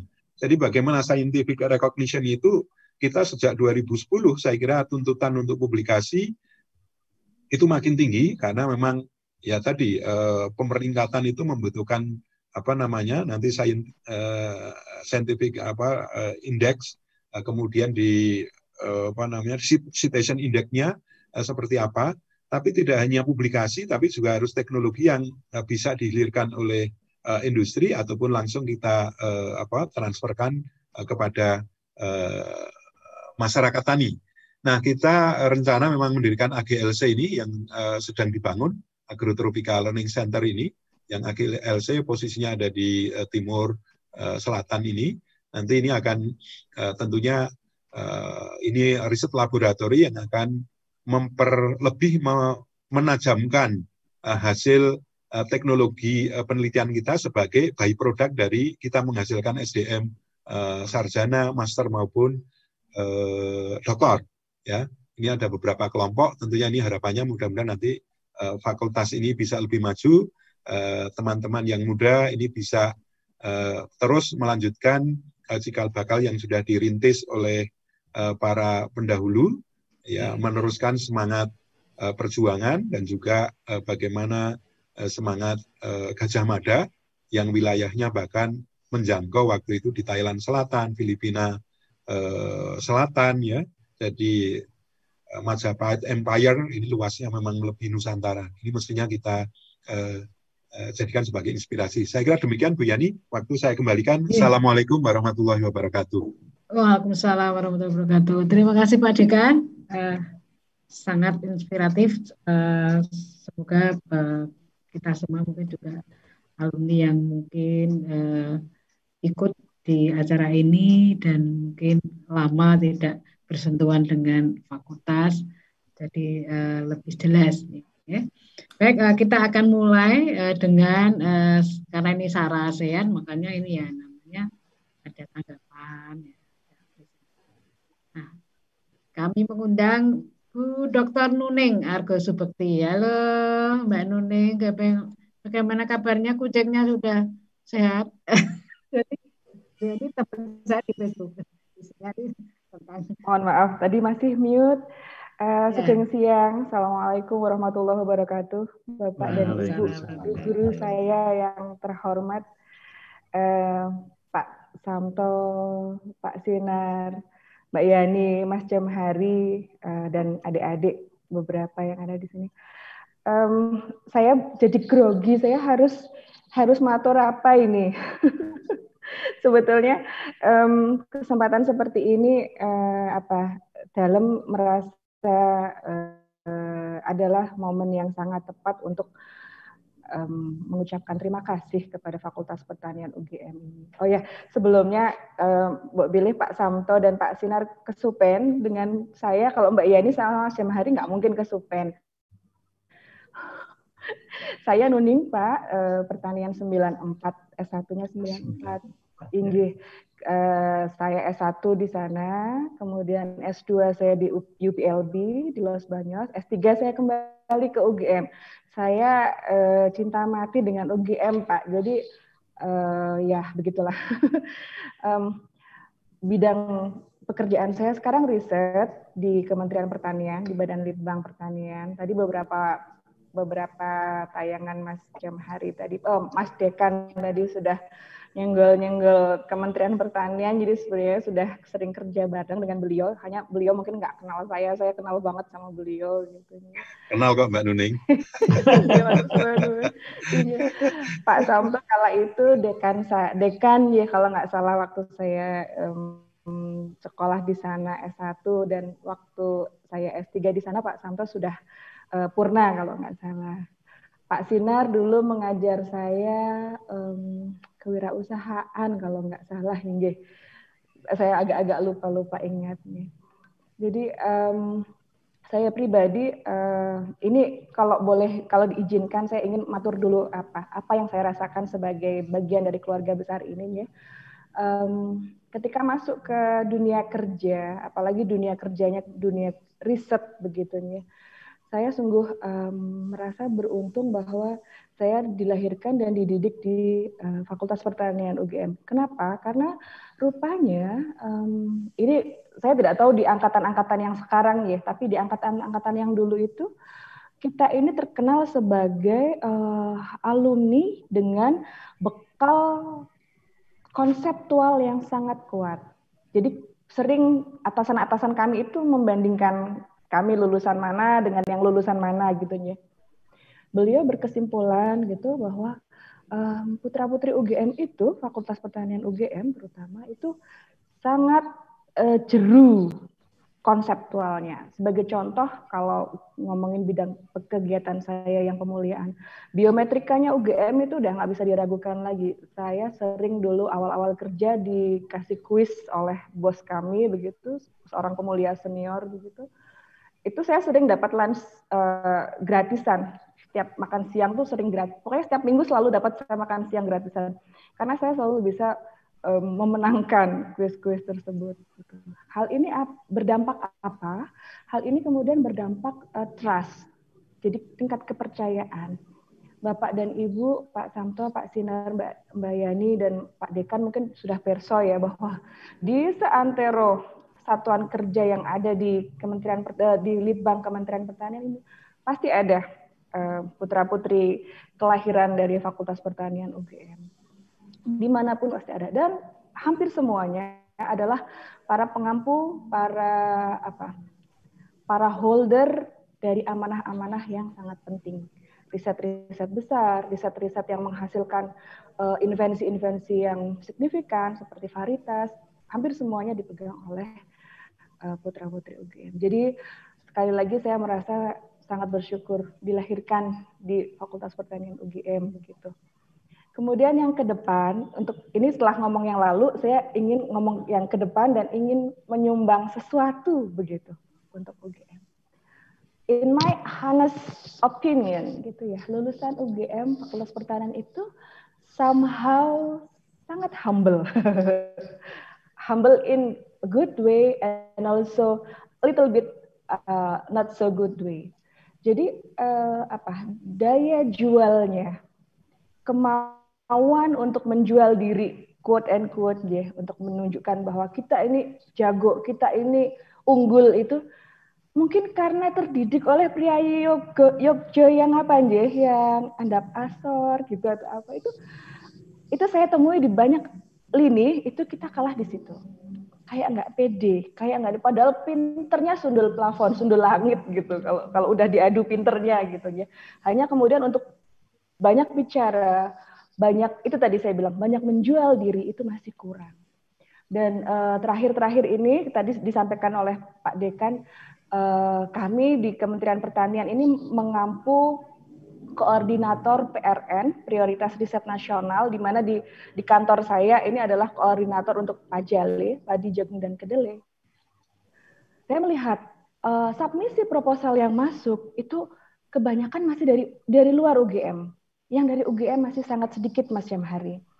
Jadi Mbak Bileh uh, mulai sekarang kawan-kawan uh, dosen-dosen muda Mbak hmm. Raya, Mas Panji, Pak Taryono Mbak Yu, Mbak Mbak uh, siapa lagi ya? Punya banyak yang mbak-mbak saya yang ada di sana itu. Mbak Rani. Nah, nah itu monggo sering-seringlah uh, mengintip ke uh, uh, lamannya Rispro uh, Kementerian Keuangan LPDP.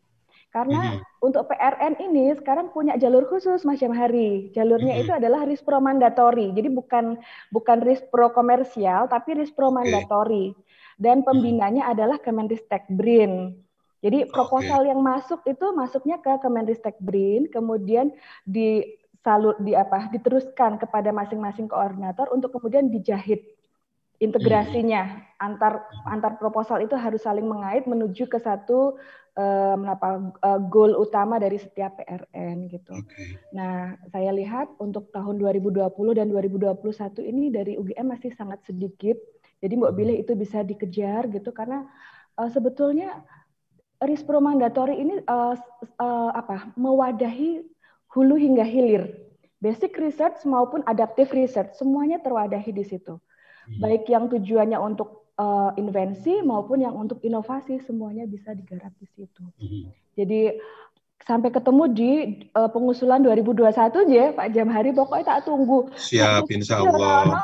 tak WA tak telepon Mbak Yani GM kok nggak ada gitu. Insya Allah. Kemudian siap, juga siap, untuk yang Mbak Nuning. untuk yang food estate memang uh, ini kembali semua mata terarah ke Kalteng ya. Terlepas dari pro dan kontranya sepertinya memang optimisme Pak Menteri uh, ya mau tidak mau karena seragam saya itu ada emblemnya ini Bapak dan Ibu jadi saya harus dukung gitu ya.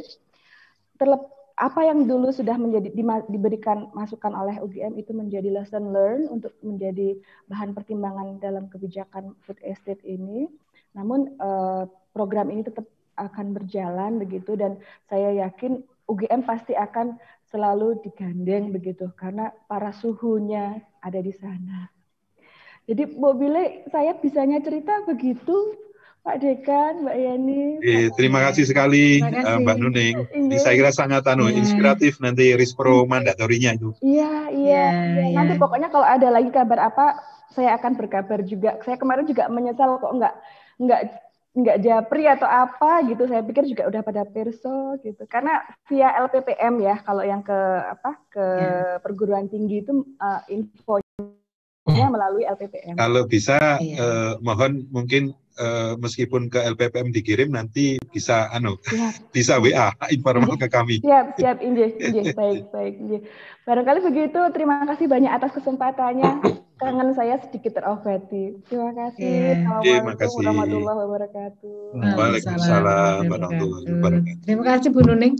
Jadi untuk food estate itu kita juga uh, pada saat awal kemarin juga Pak Aswar mendampingi Pak Budi uh, Pak Basuki, Pak Basuki Menteri yeah. Kerjaan Umum ya, UPR juga ya. ya dan kita akan masukkan di Balitra dan PPTP Kalteng itu kan uh, sebagian besar alumni kita ya, ya sehingga uh, dan uh, kita sudah juga kemarin kita sudah membuat webinar berkenaan dengan itu juga ada Pak Yiyi yang dari Palitra dan bahwa uh, apa yang eh, hal-hal uh, yang menjadi perhatian kita akan sangat diperhatikan ya tentang harga dan sebagainya. Jadi uh, kami juga mendukung bahwa uh, uh, yang dibuka itu memang ya memang uh, bisa dibuka begitu ya untuk kita Oke, okay. uh, kita akan uh, memanggil Pak Ahmad di Priyatwojo dulu. Nanti uh, ini uh, tiga pertanyaan dulu nanti ditanggapi oleh uh, narasumber. Silakan Pak Ahmad di Priyatmojo. Uh, terima kasih Bu. Ya. Mas Ipi gitu aja ya, Pak ya, Ipi. Bu Yani sebagai moderator. Assalamualaikum warahmatullahi wabarakatuh. Waalaikumsalam. Uh, sangat menarik apa yang disampaikan oleh Pak Sinar, Pak Samto, dan Pak Dekan, Pak Mas Dik Jambari. uh, ini adalah satu apa ya webinar yang mungkin ya kalau bisa juga sering dilakukan. Nama saya Ahmad Dibrat Mojo, eh, biasa dipanggil IPI. Saya angkatan 1983, kemudian masuk dosen 1990. Eh, Jadi sudah hampir berapa? 30 tahun mungkin. eh, apa yang ada di pikiran saya ini adalah begini. Ketika saya masuk menjadi dosen, eh, pada waktu itu saya itu takjub, ya, dan ya ada perasaan bangga begitu kepada para pendiri fakultas ini. Ya. Saya melihat eh, fakultas pada waktu itu itu sudah punya rumah yayasan gitu ya, rumah yayasan yang diperuntukkan bagi dosen. Tidak tanggung-tanggung, jumlahnya 30 eh, rumah gitu, 30 unit. Eh, tetapi saya juga belum pernah menempati di sana, tetapi pernah mengurusi untuk renovasinya. Kemudian ada juga fasilitas eh, bangun tapan, ya, kebun penelitian.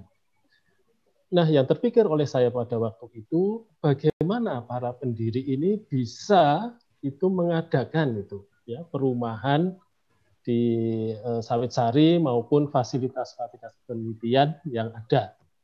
Ya, tentunya ini adalah karena mungkin eh, dedikasi dan loyalitas dari para pendiri ini. Dan saya melihat itu mungkin agak susah atau sulit kita lakukan sekarang ini gitu ya, meniru para pendiri. Bagaimana mereka eh, beliau-beliau ini sangat concern ya sangat memikirkan institusinya dan warganya. Ya, tentu saja pada waktu membuat rumah di Sari kan juga berpikiran oh nanti dosen-dosen berikutnya itu juga perlu rumah sebelum uh, mempunyai rumah. Nah, semangat inilah yang mungkin itu perlu kita warisi atau ditularkan kepada para generasi berikutnya, khususnya adalah eh, dosen-dosen yang milenial sekarang ini ya, bagaimana para pendahulu kita itu, pendiri fakultas ini sangat komit kepada institusi. Nah, ini memang tidak bisa kemudian e, ditularkan begitu saja. Pasti ya ada upaya mungkin dari pihak fakultas ya, Pak Dekan dan pengurus itu mempunyai satu program atau kegiatan yang tersistem khususnya bagi dosen-dosen yang milenial ini bagaimana bisa mencontoh semangat dari uh, para uh, pendiri fakultas ini. Ya. Kemudian yang kedua adalah saya juga ingin tahu Pak Sinar ya mungkin yang mengalami pada waktu itu kira-kira apa yang melatar belakangi dari para pendiri kita itu kok bisa sampai kemudian mempunyai uh, apa uh, tanah sawit sari, kemudian bisa beli uh, bangun tapan dan sebagainya itu kira-kira apa yang melatar belakangi pada waktu itu Pak Sinar. Ya, dan itu saya yakin tidak mudah itu ditiru oleh kita-kita yang generasi berikutnya ini. Dan eh, mungkin untuk saran kepada fakultas Pak Dekan eh, bisa dibuat suatu kegiatan-kegiatan yang eh, mengarah kepada bagaimana memiliki eh, rasa komitmen atau meningkatkan mencintai institusi ini supaya kita bisa uh, menirulah ya para pendiri-pendiri kita. Saya kira itu uh, yang bisa saya sampaikan dan sekali lagi terima kasih sudah mengadakan acara yang sangat bagus ini. Mudah-mudahan nanti bisa dilanjutkan untuk acara-acara uh, berikutnya. Assalamualaikum warahmatullahi wabarakatuh. Waalaikumsalam warahmatullahi wabarakatuh. Untuk penanya live berikutnya, eh, sudah siap belum ya? Ada Mas Rahmat Fauzi, sudah siap belum? Kalau belum, uh, silakan uh, kami persilakan uh, narasumber untuk menjawab. Mungkin dari Pak Sinar dulu ya. Kemudian nanti Pak Jambari dan Pak Santo. Oh, Mas Pak Rama sudah ada. Oke. Okay. Mas Rahmat silakan bertanya itu di masih mood silakan di ah oke. Okay. Tes tes apakah sudah terdengar Bapak Ibu? Sudah sudah. Videonya di dihidupkan ya videonya. Oh ya mohon maaf Bu sebelumnya uh, webcam saya di kamera saya ini rusak Bu mohon maaf. Oh oke okay, oke. Okay. Ya. Uh, mohon izin perkenalkan diri nama saya Rahmat Dwi Fauzi saya mahasiswa Fakultas Pertanian Universitas Gajah Mada angkatan 2018. Uh, eh, izin bertanya. Tadi sebenarnya saya sudah menuliskan di Q&A, namun saya sampaikan langsung saja di sini. Uh, tadi sudah disampaikan melalui bekerja, be, be, kerjasama dengan beberapa instansi terkait. Salah satunya adalah PTPN. Nah, yang ini saya tanyakan, untuk kerjasama dengan PTPN ini, PTPN yang mana saja ya Pak, kalau boleh tahu? Terima kasih. Oke, uh, simpel pertanyaannya. Baik, sekarang uh, kami persilakan, monggo Pak Sinar untuk menjawab pertanyaan tadi, ya. terutama dari Pak Ipi. Ya, yang pertama betulnya bukan bukan pertanyaan, pertanyaan Pak Ipi dulu, berarti Bu Nuning dulu. Ya. Bu Nuning tadi itu menyampaikan mengapa alumni kita itu kok masih nggak nggak banyak tampil di apa instansi-instansi yang ada. Saya terus teringat pada waktu ada permintaan dari PT Gosari Gresik itu, ya minta satu tenaga, tenaga yang baik, saya pilihkan uh, saya sudah saya kirim. Tapi saya pikir kalau satu nanti tidak bisa milih. Saya kirim dua orang yang nilainya bagus tentunya. Nah dari situ kemudian entah berapa hari kemudian satu bulan atau dua minggu direkturnya datang pada saya dan saya sambut dengan wah payu daganganku gitu. Jadi saya bangga sekali waktu itu perasaan saya. Tapi beliau, Pak, saya minta lagi tenaganya. Wah, saya tanya yang dulu bagaimana? Wah, maaf Pak, yang dulu itu penampilan dan sikapnya kurang. Ini saya sebagai rasanya ditampar. Wah, bagaimana? Lalu kemudian saya lihat kita memang perlu bukan hanya di sini aja yang diperlukan, tetapi sikap dan penampilan itu kita harus bangun, harus bentuk, harus membentuk penampilan dan uh, sikap. Oleh karena itu, uh, tadi sudah disinggung, saya terkenal yang opera-opera baju kulot dan sebagainya itu. Saya lakukan itu bukan masalah saya anti itu tapi saya ingin membentuk sikap. Sikap dan penampilan itu supaya betul-betul bisa nanti harga jualnya itu laku itu saja saya kira. Dan ini perlu dipikirkan bagaimana membentuk sikap dan penampilan itu. Tidak hanya di dalam pembentukan pikiran saja, tetapi sikap dan penampilan itu perlu dibentuk. Seperti halnya kalau kita lihat Akademi Militer Magelang itu, itu kan tidak diajari nembak saja, gitu, tidak diajari macam-macam, tapi dibentuk sikap-sikap yang betul-betul nantinya calon jenderal. Nah itu yang saya inginkan Fakultas Pertanian itu mengamati bagaimana membentuk sikap dan penampilan itu. Yang kedua pertanyaan Pak Ipik itu, ngapa dulu kok bisa apa itu membeli tanah dan membangun rumah? Itu saya kira dulu itu pemikirannya hanya untuk kesejahteraan dosen. Jadi dosen yang tidak punya rumah itu dipikirkan bersama bagaimana mereka itu bisa tetap kerasan jadi dosen, nah, lalu diberi fasilitas-fasilitas itu yang belum punya rumah. Dengan catatan nanti kalau sudah bisa punya duit, bisa membangun rumah, silakan pindah. Jadi kalau saya lihat tidak ada maksud apa-apa, tujuan apa-apa selain hanya menginginkan supaya kesejahteraan, membantu kesejahteraan dosen itu supaya terjamin. Tapi sekarang itu nampaknya dosen muda itu sudah punya rumah sendiri-sendiri. Jadi ya nggak tahu itu rumah-rumah banyak ada yang kosong, apa masih diperlukan atau tidak. Jadi itu perlu dipikirkan oleh yang mengelola eh, dari yayasan. Saya kira perlu dipikirkan ada yang rumah sudah dibangun tapi tidak diapa-apakan sampai sekarang. Mbok itu dibangun untuk disewakan kan dapat duit itu pemikiran saya. Terima kasih. Terima kasih. Monggo Pak Samto. Saya yang mana sih? Saya kira sudah sama dengan Pak Sinar. Iya, jadi dulu ceritanya memang apa kesejahteraan dosen itu kan sangat rendah ya.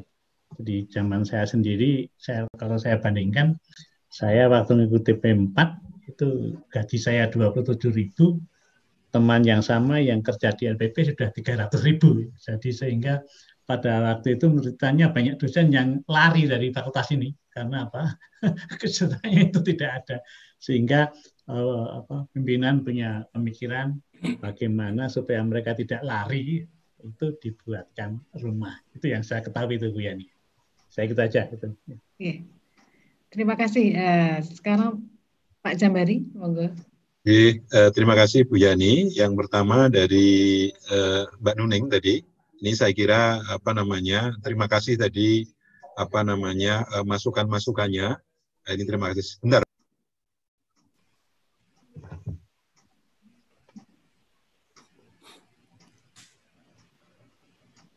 Jadi ada rapat dengan Pak Rektor ini, mohon maaf.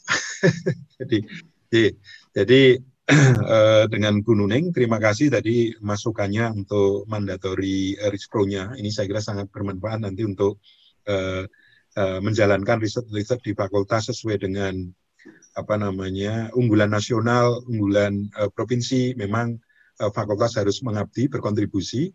Uh, jadi kalau nasional komoditinya di dalam PRN itu sudah jelas.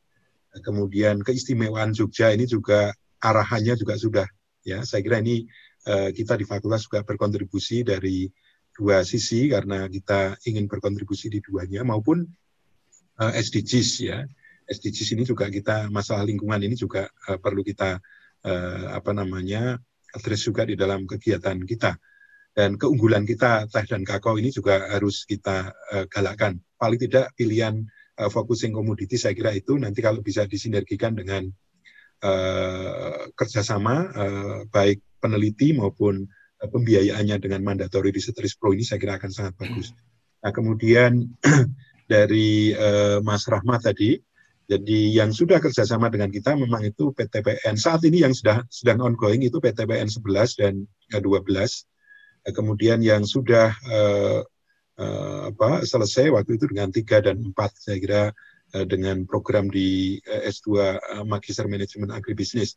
Dan sebetulnya ini tidak menutup uh, apa namanya eh, PTPN PTPN yang lain uh, atau bahkan uh, kita juga sangat terbuka untuk memfasilitasi uh, itu untuk meniti karir di di luar uh, karena uh, saat ini juga uh, tadi saya lupa untuk menuliskan ini di UGM juga sudah dibuka uh, apa namanya uh, pasca sarjana by riset yang dari sisi waktu itu tidak membutuhkan uh, terus hadir uh, standby di uh, kampus UGM. Uh, jadi perkuliahan tidak sebanyak yang reguler, sehingga nanti bisa dilanjutkan uh, penelitian uh, sambil uh, kerja mengerjakan di uh, perusahaannya. Jadi bagaimana melakukan riset di, di sana itu bisa dilakukan. Menyiapkan publikasi ini juga dari dari sana ini juga bisa uh, dilakukan. Uh, itu saya kira tadi yang dari Mas Rahmat. Nah, kemudian Prof. Ipi sangat setuju memang kondisi apa namanya ini luar biasa para pendahulu kita yang dengan tadi dibahasakan oleh Prof. Samto uh, dapat proyek dipotong entah berapa jumlahnya, tapi kemudian kumpulan dari banyak uh, proyek dan banyak orang ini akhirnya bisa pengadaan tanah, bisa membuat rumah, dan akhirnya generasi kita lah yang menikmati. ini saya kira apa namanya ini yang tidak dimiliki oleh fakultas-fakultas yang lain. Jadi kita bisa membandingkan saya kira rumah yayasan tadi ini fakultas mana yang yang seperti kita. Saya kira ini patut kita syukuri dan kemudian bagaimana kita bisa membangun jiwa korsa uh, pertanian kita. Jadi uh, apa namanya? Mari ini kita lanjutkan ya, kita lanjutkan uh, termasuk kebun bangun tapan. Bangun tapan ini sekarang sudah uh, meskipun itu miliknya yayasan, tapi sudah ada MUU dengan fakultas untuk penggunaannya di uh, kerjasamakan dengan fakultas dan kita uh, sedang menyusun DED untuk uh, pengembangan uh, bangun tapan itu sebagai uh, apa namanya pusat penelitian maupun untuk uh, apa untuk uh, show window kegiatan dan teknologi-teknologi yang uh, kita miliki. Uh, saya kira demikian. Uh, dan Bu Yani tadi ya apa dari Prof. Ipik uh, mungkin sangat terbuka fakultas saya kira untuk kita sharing kira-kira masukan dari Bapak Ibu kira-kira untuk uh, agar teman-teman uh, yang milenial yang masih muda ini nanti uh, bisa mengikuti jejak para pendahulu ya. Uh, kalau dulu memang betul-betul kondisinya uh, mungkin dari gaji PNS-nya itu ya nggak nggak nggak cukup begitu ya jadi peru, saya kira kita masih ingat era perubahan itu tanda petik kita harus mengakui gaji PNS ini mulai uh, agak standar itu di era Gus Dur. Saya kira uh, kita uh, apa namanya perubahan ini uh, sangat signifikan apalagi dengan uh, apa namanya uh, share dan seterusnya ini ini makin apa namanya makin uh, standar. Tapi sekali lagi uh, rintisan dari pendahulu ini luar biasa sampai punya bangun uh, rumah uh, 30 atau berapa itu saya kira ini luar biasa dan ini kita harus menjaga dan meneruskan untuk menjawab cita-cita pendirian fakultas kita. Terima kasih Bu Yani. Terima kasih Pak Dekan. Nah, selanjutnya saya akan membacakan beberapa pertanyaan di live chat ya. Ini ada dari uh, Pak Tukido. Pada tahun 1975-an, Fakultas Pertanian mengedepankan konsep intensifikasi budidaya di pekarangan, khususnya di pedesaan, yang dikomandani Profesor Haryono Danusastro yang menyatakan tujuh fungsi pekarangan. Saat ini konsep pertanian di lahan sempit yang bertujuan mendukung program ketahanan pangan di masyarakat. Konsep yang lain misalnya desa binaan berbasis pertanian terpadu di zero Bagaimana Fakultas Pertanian UGM merespon hal-hal di atas sesuai dengan marwahnya? Terima kasih. Ini nanti kita, kita tahun ini banyak sekali uh, kegiatan tentang uh, hidup hidroponik dan juga Kemudian ada pertanyaan, pernyataan juga dari Buntaran Harimurti. Nama Faperta UGM tidak ada gaungnya di kalangan akademia di Eropa seperti di WUR, SLU, Hohenheim. Berbeda dengan Faperta dari universitas yang lebih recognized. Bahkan tidak ada ekstrim misalnya ke universitas reputabel di Eropa. Wah ini benar nih ya, ada ke Gen juga kok. Bagaimana di era third generation university ini Fakultas Pertanian UGM bisa sejajar? Nah, Kemudian uh, dari Buning Argo Subakti, mohon info detail untuk program pasar sarjana by riset. Barangkali ada leaflet atau brosur. Baik, uh, kami persilakan. Ini uh, pertanyaannya terutama ke Pak Dekan, tapi tidak menutup juga untuk Pak Santo dan Pak Sinar. Ya. Bagaimana Bu Yoni? Ya, Pak Dekan. Oh, oke. Okay. Untuk tadi, nih. Yang pertama tadi apa oh, Pak Tugijo ya? Oke, siap siap. Pak Tugijo ya tentang pekarangan. J. Uh, terima kasih uh, Pak Tugijo tadi mengingatkan uh, konsep mengenai bagaimana optimasi uh, pengarangan dan dengan konsep zero waste. Ini saya kira eh, cuman bahasanya itu lain saja nih Pak Tukijo. Jadi apa namanya saat ini di dalam Renstra kita itu memang smart eco bio production itu eh, pertanian pintar ramah lingkungan. Jadi sebetulnya eh, terminologi ini memang selalu berkembang. Kalau dulu menggunakan kata eh, sustainable ya, eh, saat ini memang ya eco ya lebih ekologis Ya, jadi smart karena itu memang era uh, IT, uh, era IT. Ini memang kita harus era disruptif. Ini kita menggunakan kata itu. Jadi fakultas merespons uh, tadi pekarangan itu ya dengan itu Pak Smart Eco Bio Production. Kemudian program-program uh, yang kita lakukan saat ini, uh, terutama di pandemi COVID, ini kita banyak melakukan program uh, pendampingan terutama untuk urban farming. Ya, urban farming yang apa namanya yang di Kecamatan Keraton kemudian di uh, Kota Gede ini kita uh, lakukan itu. Uh, nah tentunya untuk yang di pedesaan ini kita juga uh, saat ini diminta untuk uh, mendampingi uh, 158 kelompok P2L jadi uh, program pangan lestari uh, dari Kementerian Pertanian ini di bawah koordinat koordinasi Badan Ketahanan Pangan dan kita saat ini mendampingi 158 uh, kelompok yang ada di Provinsi Jawa Tengah. Tapi ini baru sedang disiapkan. Jadi MOU sudah kita lakukan. Tinggal kita kemudian me, nantinya ini akan mengirimkan mahasiswa itu sebagai pendamping dan dosen nanti membimbing. Dan skimnya memang uh, luring dan daring. Jadi kita nanti perlu uh, antara uh, alamat dari uh, mahasiswa yang mendampingi dengan lokasi pendampingan karena di era COVID tentunya uh, kita akan meminimalisir, meminimumkan uh, orang uh, berpindah ataupun uh, transportasinya itu terlalu jauh. Nah, jadi kita melakukan bentuk dari uh, bentuk program yang saat ini diimplementasikan di level kementerian itu programnya namanya kalau dulu KRPL kawasan uh, Rumah Pangan Lestari. Nah, mulai tahun ini namanya P2L. Jadi program uh, pangan uh, lestari. Nah, ini kita juga mendampingi ke situ. Nah, tentunya uh, ini juga diharapkan uh, dari hulu hilir dan uh, kemarin sore ya Bu Yani kita ketemu Pak Kepala Dinas Ketahanan hmm. Pangan uh, Provinsi Jateng di UC bersama bersama Kepala Bidang maupun staf ahli gubernur. Kita sudah ketemu di UC UGM. Uh, itu kita akan melakukan itu Pak karena memang kalau kita lihat uh, untuk di Jawa, uh, memang tantangan kita yang paling dekat untuk meningkatkan produksi pangan ya uh, bagaimana mengurangi gap antara uh, potensi dan uh, realisasi dari uh, produktivitas uh, padi sawah misalnya. Jadi masih, memang ada masih ada gap yang cukup besar. Tapi karena lahan makin terbatas, kita memang juga harus mengoptimalkan hmm. lahan-lahan yang masih uh, belum digunakan, terutama uh, pekarangan.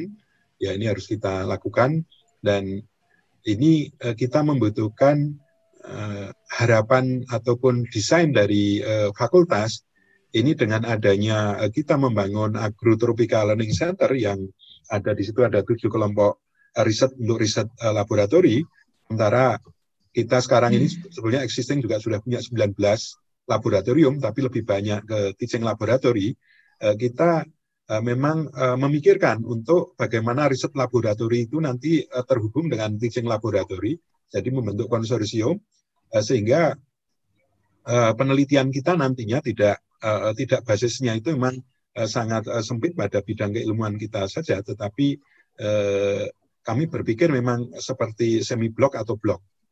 Jadi di dalam uh, semi blok atau blok itu kan misalnya blok uh, tanaman pangan, tetapi dari berbagai mata kuliah dari berbagai laboratorium teaching dari berbagai prodi ataupun bidang itu nanti akan meroyok di situ.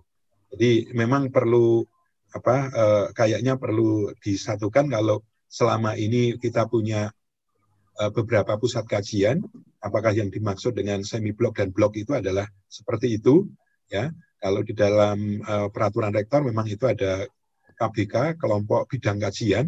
Nah, saya kira ini uh, nanti soal nama saya kira tidak uh, masalah kita uh, sesuaikan, uh, tapi yang penting memang nanti harus ada yang uh, concern terhadap uh, pekarangan, terhadap perhutanan sosial, karena perhutanan sosial ini juga baru. Bagaimana uh, tanaman di dalam naungan, uh, tahan naungan ini, uh, uh, pemerintah ini secara legal sudah uh, apa ada izin, jadi ada izin untuk menggunakan perhutanan sosial ini. Mestinya kita juga mengembangkan eh, teknologi-teknologi yang ke sana dan jumlahnya ini cukup luas. Itu untuk Pak Tukijo, kemudian untuk Mas tadi Mas Harimurti ya tadi ya untuk Mas Harimurti, uh, kita saat ini kalau kita lihat di dalam apa namanya QS World University Ranking, alhamdulillah uh, UGM itu menjadi universitas yang uh, terbaik menurut QS uh, World University Ranking ini di Indonesia. Jadi kita peringkatnya ada di 290 berapa dua atau berapa itu ya. Jadi kita yang terbaik. Nah, uh, tentunya uh, capaian itu itu uh, berkat uh, banyak hal yang uh, dilakukan termasuk reputasi alumni uh, maupun uh, jejaring uh, kerjasama yang dilakukan. Jadi memang ya kalau kita uh, bandingkan dengan universitas-universitas yang ada di Eropa, uh, universitas yang di Amerika ya, itu memang ya ya kita uh, belum begitu setara dengan mereka dalam artian rankingnya ya. Tetapi universitas di Eropa maupun Amerika semua mengakui. Jadi di QS World Unity Ranking kalau nyebut UGM, UGM adalah universitas uh, pionir untuk kegiatan community uh, development. Jadi kegiatan yang real di jadi impact uh, recognition kita ya yang betul-betul berkiprah untuk mendampingi memberdayakan masyarakat ini sudah diakui uh, oleh uh, QS uh, World Unity Ranking itu sendiri. Jadi kalau uh, apa namanya kriterianya berubah mungkin kita akan akan nomor atas sekali. ini hanya sayangnya memang uh, masalah pengabdian ini nggak nggak nggak di apa namanya nggak nggak terlalu dikedepankan di dalam uh, ranking itu. Tapi saat ini saya kira akan semakin penting. Uh, kalau jejaring uh, kerjasama, ya kita uh, alhamdulillah uh, sangat banyak dengan yang di Eropa ya. Saya kira uh, kita punya dengan Gen ya Gen University, kemudian juga dengan Wageningen ya dengan Wageningen ya dengan uh, Göttingen kita juga uh, punya uh, kemudian ya, dengan Prancis ya dengan Prancis itu Montpellier kita juga uh, punya bahkan uh, Montpellier itu itu yang kemudian me, istilahnya memayungi University Consortium Siarka yang ada di ASEAN jadi ada UGM ada UPM ada Kasusat University UPLB itu kemudian membuat jejaring apa didanai dari Erasmus Plus untuk mendapatkan program Master of Science Food Security and Climate Change. Ya, kemudian di perikanan uh, S2 ilmu perikanan kita meskipun uh, itu baru, itu juga mendapatkan pendanaan juga dari Erasmus Plus yang ada di uh, di Eropa. Ya. Ini saat ini kita juga sedang menyusun proposal untuk supply chain ini dengan konsorsium yang ada di Wageningen, kemudian juga Kanada ya, di sini juga ya UGM, kemudian Kementerian Pertanian, ada UPLB, ini Prof. Siti Subandia sedang mengupayakan untuk itu dan proyek-proyek uh, yang dengan uh, Wageningen riset uh, apa joint riset dengan Wageningen, joint riset dengan uh, Queensland ini masih uh, berjalan. Jadi uh, kita sudah cukup uh, banyak kerjasama, tapi uh, memang kerjasama-kerjasama ini yang harus terus ditingkatkan ya. Jadi terus ditingkatkan eh, tidak hanya untuk tataran eh, joint research, tetapi produk dari eh, joint research itu adalah kita mengirimkan dosen dan mahasiswa kita untuk belajar mendapatkan beasiswa dari program itu. Jadi kita ada apa namanya ada kerjasama itu. Dan yang terakhir tadi siapa ya Bu? Yani ya? Mati sudah, sudah, sudah. Sudah cukup ya? Sudah cukup ya. Ya. Baik, eh, Pak Samto, Pak Sena akan nambah. Uh, saya kalau nambah hanya ini ada sedikit. Kita punya kiprah yang besar tapi belum tercatat. Itu adalah pengembangan sumber daya manusia melalui kontribusi kita dalam membesarkan dan membentuk perguruan-perguruan tinggi baik PTS maupun PTN. Jadi dulu yeah. kita punya kiprah yang luar biasa itu mengirim dekan, mengirim tim tim kurikulum. Ya. Saya sendiri dulu ikut dikirim ke Mataram. Jadi itu belum tercatat. Saya kira nanti harus di yeah. dokumen. Iya. Ini bukan untuk menyombongkan, tapi bersyukur bahwa kita punya kontribusi yang besar. Nanti dia dilihat para generasi penerus. Jadi pengembangan kita luar biasa dulu kita membantu misalnya ke UNS, kita ke Bengkulu. Brawijaya ya. Iya, jadi banyak ke Bro ya. Jadi saya kira perlu ada catatan nanti jadi apa, kontribusi kita dalam pengembangan SDM melalui ya, tadi memasukkan yang ke UHU dan Untan ini Prof Samto. Saya oh, kira yang yang dulu-dulu harus ditambahkan. Iya, Bengkulu, Brawijaya iya. ya. Iya. Yang terakhir kita ke UHU dan uh, Untan saya kira untuk untuk program uh, paskanya yang ke UHU itu. Iya. Jadi saya kira ini penting untuk dicatat untuk diketahui para penerus bahwa kita sejak dulu aktif dalam ikut mengembangkan perguruan tinggi baik uh, PTS uh, maupun PTN. Itu aja catatan yang ya. belum buka-buka belum ada. Itu catatan ya. itu secara apa dibuat secara baik. Itu aja tambahan saya. Terima kasih. Uh, ini ada. pertanyaan terakhir. Pak Sinar. Dari, anu, ya nanti ya. saya mengomentari Pak Jambari tadi. Ah, okay, okay. Ini pertanyaan terakhir dari Mas Aditya Herwin itu mantan ketua Dema yang sekarang berkarir di PT, PT Petrokimia Gresik. Silakan Mas uh, Aditya Herwin. Uh, ya. Ini Assalamualaikum warahmatullahi wabarakatuh. Waalaikumsalam warahmatullahi wabarakatuh. Selamat siang Pak Sinar Hadi, Pak Jamhari, Bu Yani, Pak Samto serta senior-senior uh, dan rekan-rekan semua uh, yang bergabung siang hari ini di Sarasehan. Uh, sebelumnya saya ingin perkenalkan diri terlebih dahulu. Uh, saya Aditya Herwin. Saya agronomi angkatan 2010 dan saat ini uh, kebetulan berkecimpung di uh, industri agroindustri khususnya mungkin di perpupukan.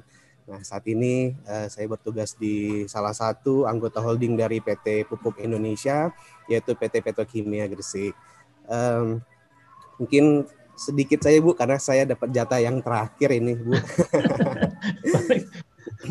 Mudah-mudahan bisa iya. mewakili generasi-generasi milenial uh, di angkatan uh, saya, angkatan kami, mungkin uh, mewakili juga nih generasi-generasi sentenial yang lebih-lebih muda lagi ya mungkin yang masih kuliah di Universitas uh, Gajah Mada.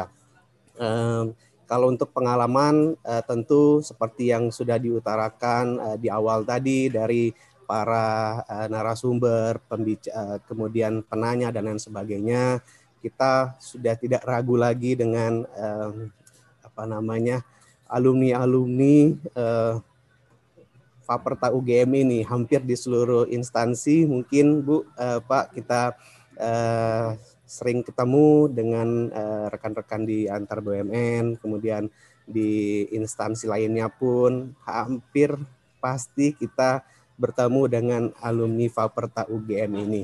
Dan ini kalau boleh saya bilang mungkin suatu bonus ya Bu.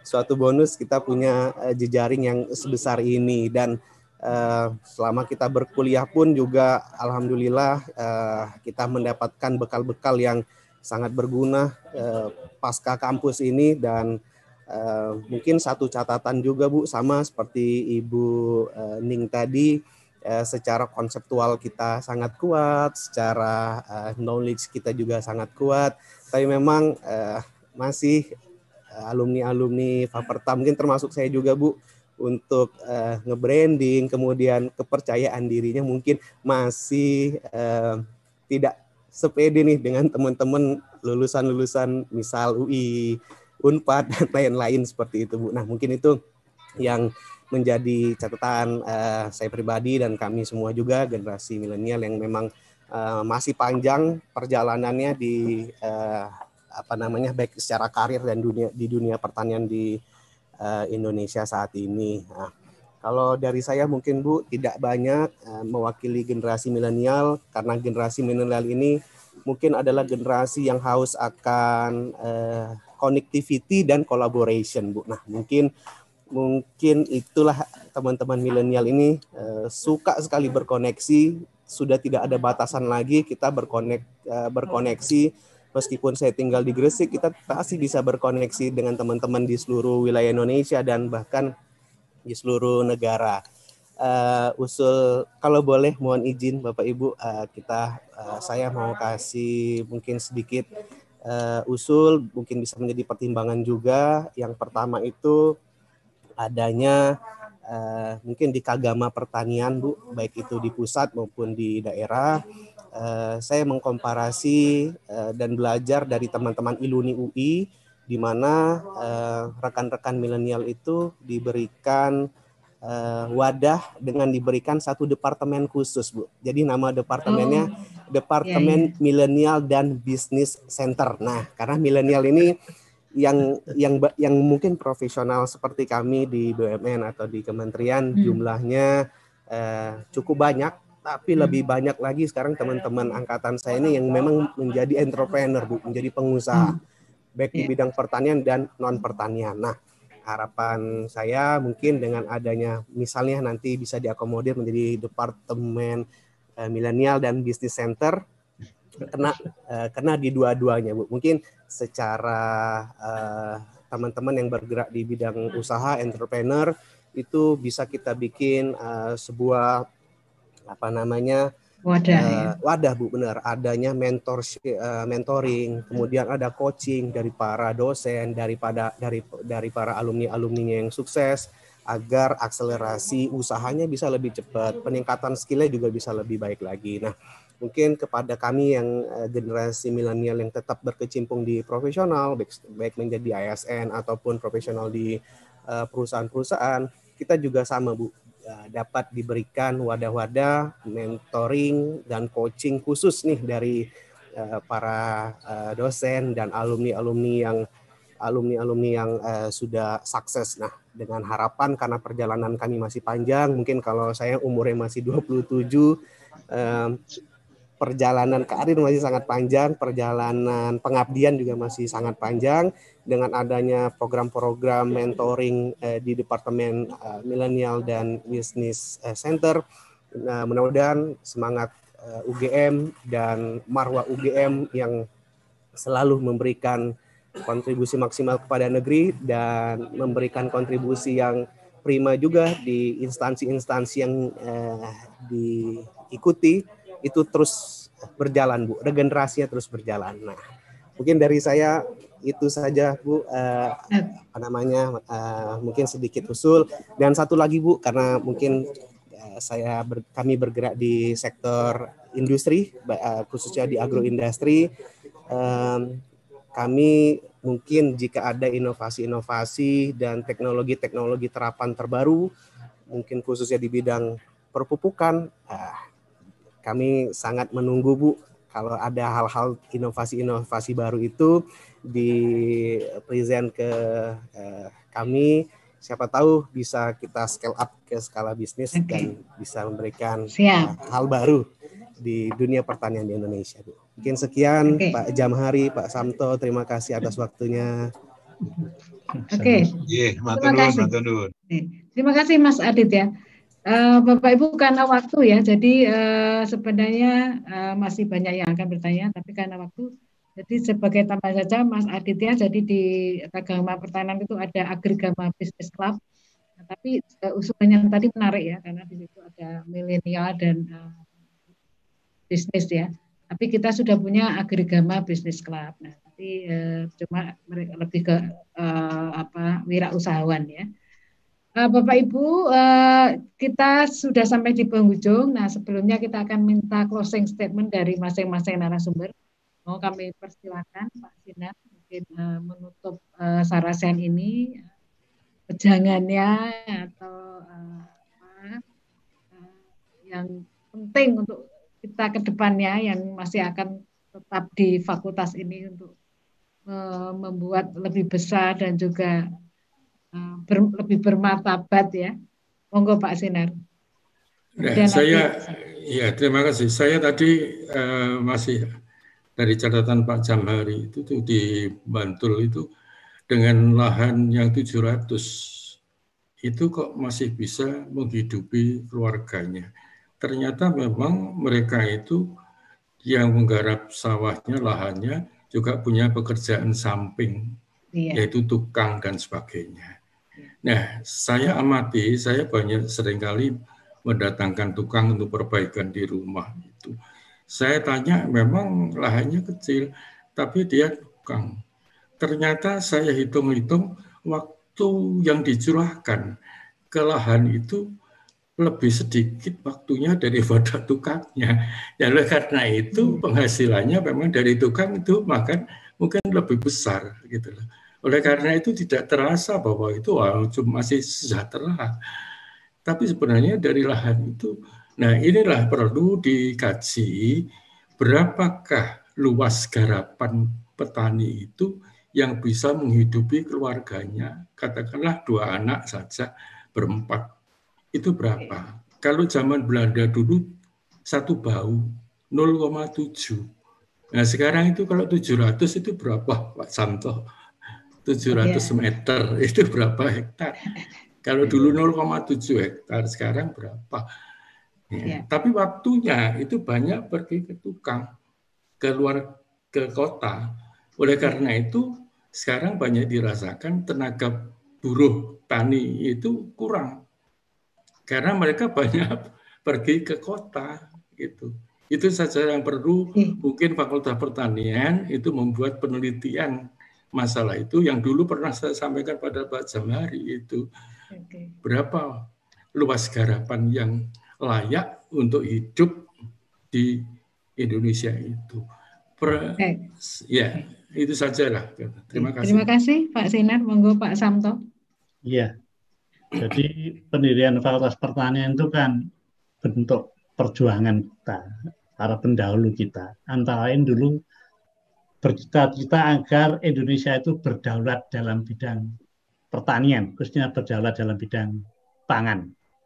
Itu saya ibaratkan lari estafet yang dimulai dari Klaten nanti tercapai akan finish kalau kita sudah berdaulat dalam bidang pertanian khususnya pangan. Nah, kami yang tua-tua sudah lari sebaik-baiknya dalam zamannya. Harapan saya nanti tongkat estafet bisa dipegang oleh adik-adik dengan lari yang lebih baik daripada ya. kami yang sudah tua-tua ini eh, supaya cepat bisa tercapai bahwa Indonesia ke depan bisa berdaulat dalam bidang pertanian khususnya pangan. Saya kira optimis dari segi SDA dan manusianya kita ke depan masih bisa. Itu saja pesan saya. Silakan generasi muda untuk bisa lari yang sebaik-baiknya. Kami sudah lari usaha sebaiknya pada zamannya. Itu saja Ibu Moderator. Terima kasih uh, Prof. Samto. Silakan Pak Jamari untuk menutup uh, jadi, terima kasih Bu Yani, eh, Bapak Ibu yang saya hormati. Saya kira saya melanjutkan Prof. Samto. Jadi kalau kebanyakan yang ikut sarasean ini kan eh, boleh dikatakan ini eh, ini alumni dari Fakultas Pertanian UGM, baik alumni yang tunggu tabon yang jadi dosen di fakultas maupun alumni yang kemudian menyebar ke berbagai eh, wilayah, ke berbagai lembaga, baik nasional maupun internasional. Jadi Eh, kita eh, di mana pun kita bekerja, di negara mana pun, di wilayah mana pun, di institusi mana pun, marilah kita teruskan semangat perjuangan pendirian Fakultas Pertanian UGM ini dalam kerangka untuk memakmurkan, mendaulatkan pangan dan pertanian Indonesia, memakmurkan penduduk Indonesia. Tentunya ini amanat yang ini kita bersama sebagai dari alma mater kita semua, ilmu ilmu kita semua. Nah, oleh karena itu tentunya kami yang tunggu tabon ini akan mencoba untuk menyatukan dari saudara-saudara kami yang sudah apa namanya uh, ke mana-mana. Ini kita tetap uh, dalam satu amanah itu. Kami hanya tunggu tabon saja. Uh, kami tunggu partisipasi dan juga update dari pekerjaan bidang yang Eh, Bapak Ibu tekuni di bidang di tempat kerja masing-masing karena itu sangat penting nanti untuk terus mengawal apa namanya visi dari pendirian Fakultas Pertanian UGM ini. Nah, tentunya tadi beberapa catatan yang apa namanya yang masih uh, kita uh, sangat penting kita prioritaskan untuk membentuk alumni kita yang uh, berkarakter ya tadi cerdas ya berkarakter uh, NKRI tapi juga eh, di dalam uh, membangun tanda petik tadi menjual diri atau sebenarnya bukan menjual diri ya, tetapi bagaimana uh, positioning kita di dalam uh, apa namanya uh, memimpin uh, negara ini. Ini saya kira uh, nanti kita siapkan bersama. Uh, kita sudah uh, apa namanya melakukan uh, beberapa langkah sebetulnya bagaimana uh, soft skill dari uh, mahasiswa kita uh, supaya punya uh, apa namanya karakter yang memang kompatibel untuk membangun Indonesia yang uh, begini kompleks situasinya. Jadi saya kira ini kita ingin karakter dari alumni kita itu kompatibel. Ya, jadi saya, sekarang itu memang kalau kita budaya Jawa dulu mak, padi ini makin merunduk ini makin berisi gitu ya. Tapi ini namanya ini ya tapi kita juga tidak ingin alumni kita itu apa gerusa-gerusu. Jadi misalnya uh, apa namanya uh, cepat tapi konsepnya kurang. Kemudian tapi memang ya uh, kita harus mengemas supaya alumni kita itu uh, berisi tapi juga mau mengeluarkan isinya. Ini yang uh, mungkin apakah uh, karakter Jogja atau bukan ini ini Jogja ini ya memang lucu. Jogja yang usia harapan hidupnya itu panjang, Jogja yang indeks kebahagiaannya tinggi, tapi kemiskinannya tinggi. ini ini karena karena memang kesejahteraan kebahagiaan itu bukan dari apa namanya material semata atau mungkin ini juga suatu karakter. Tapi saya kira uh, kita juga perlu uh, membangun supaya uh, PD cara ngomong yang terstruktur, mau menyampaikan sesuatu itu untuk perubahan yang lebih baik. Saya kira saya sangat setuju. Kita tidak hanya konten, tapi juga kemasan ini semakin penting. Tidak hanya konten isinya, tapi sekarang ini bungkus ini juga penting kayaknya itu. Demikian Biani, saya kira terima kasih Pak Sinar, Pak Samto semuanya. Terima kasih sekali Pak Dekan. Uh, kemudian uh, sebelum kita akhiri acara ini uh, akan diserahkan sertifikat kepada narasumber yaitu kepada Pak Sinar. Kami serahkan Pak Sinar ini sertifikat. Yeah. Kemudian kepada Pak Samto, Profesor Samto. Wah, matunun, matunun. Ya, bisa ya, terima kasih. Terima kasih. Juga Pak Jamari. Terima kasih. Terima kasih atas uh, berkenannya menjadi narasumber pada acara siang ini. Baik, uh, Bapak Ibu yang saya hormati, terutama kepada para narasumber, Pak Sinagati, Profesor Samto, Pak Jamari, dan juga kepada uh, peserta webinar siang ini, Sarasean Sejarah Fakultas UGM, sudah sampai ke bagian akhir acara ini. Saya selaku moderator mengucapkan uh, terima kasih dan mohon maaf apabila dalam membawakan acara ini kurang uh, berkenan atau ada banyak salahnya. Uh, saya kembalikan kepada MC Mbak Kartika Susilo. Uh, kurang lebihnya mohon maaf. Wassalamualaikum warahmatullahi wabarakatuh. Waalaikumsalam warahmatullahi wabarakatuh. Terima kasih Ibu Yani. Demikian acara sejarah Parasehan Sejarah hari ini. Sebagaimana tadi disampaikan narasumber kita, Pak Sinar Hadi dari 17 mahasiswa awal Fakultas Pertanian, kini alumni UGM sudah menyebar di mana-mana. Juga tadi Pak Samto berpesan bahwa keluarga Fakultas Pertanian harus menjadi satu pohon yang mengakar kuat dan menghasilkan buah yang lebat. Dan Pak Jamhari tadi juga menyampaikan bahwa pertanian di masa depan akan menghadapi tantangan sehingga Faperta okay. UGM harus terus berkembang ya Pak untuk menjawab okay. permasalahan zaman. Semoga kami generasi milenial juga generasi Z mahasiswa yang masih uh, menjadi mahasiswa di UGM saat ini bisa meneruskan cita-cita pendirian Fakultas Pertanian UGM mampu menjaga marwah para pendiri Faperta dan mampu menjadi generasi yang berbakti pada negeri. Amin. Amin. Terima kasih kepada seluruh Amin. narasumber yang ber, yang telah hadir hari ini, Pak Sinar Hadi, Pak Samto, Pak Jamhari, juga kepada Ibu Yani selaku moderator. Terima kasih kepada seluruh audiens di ruang virtual hari ini, juga kepada segenap panitia yang bertugas. Mungkin ada sesi foto bersama, silakan menyalakan kameranya yang hendak uh, berfoto bersama dari panitia? Pak Pedi, eh, Mas Habib, eh. Mas Aksel. Pak Pedi, Pak Pedi baru apa ya? Yeah. Baik.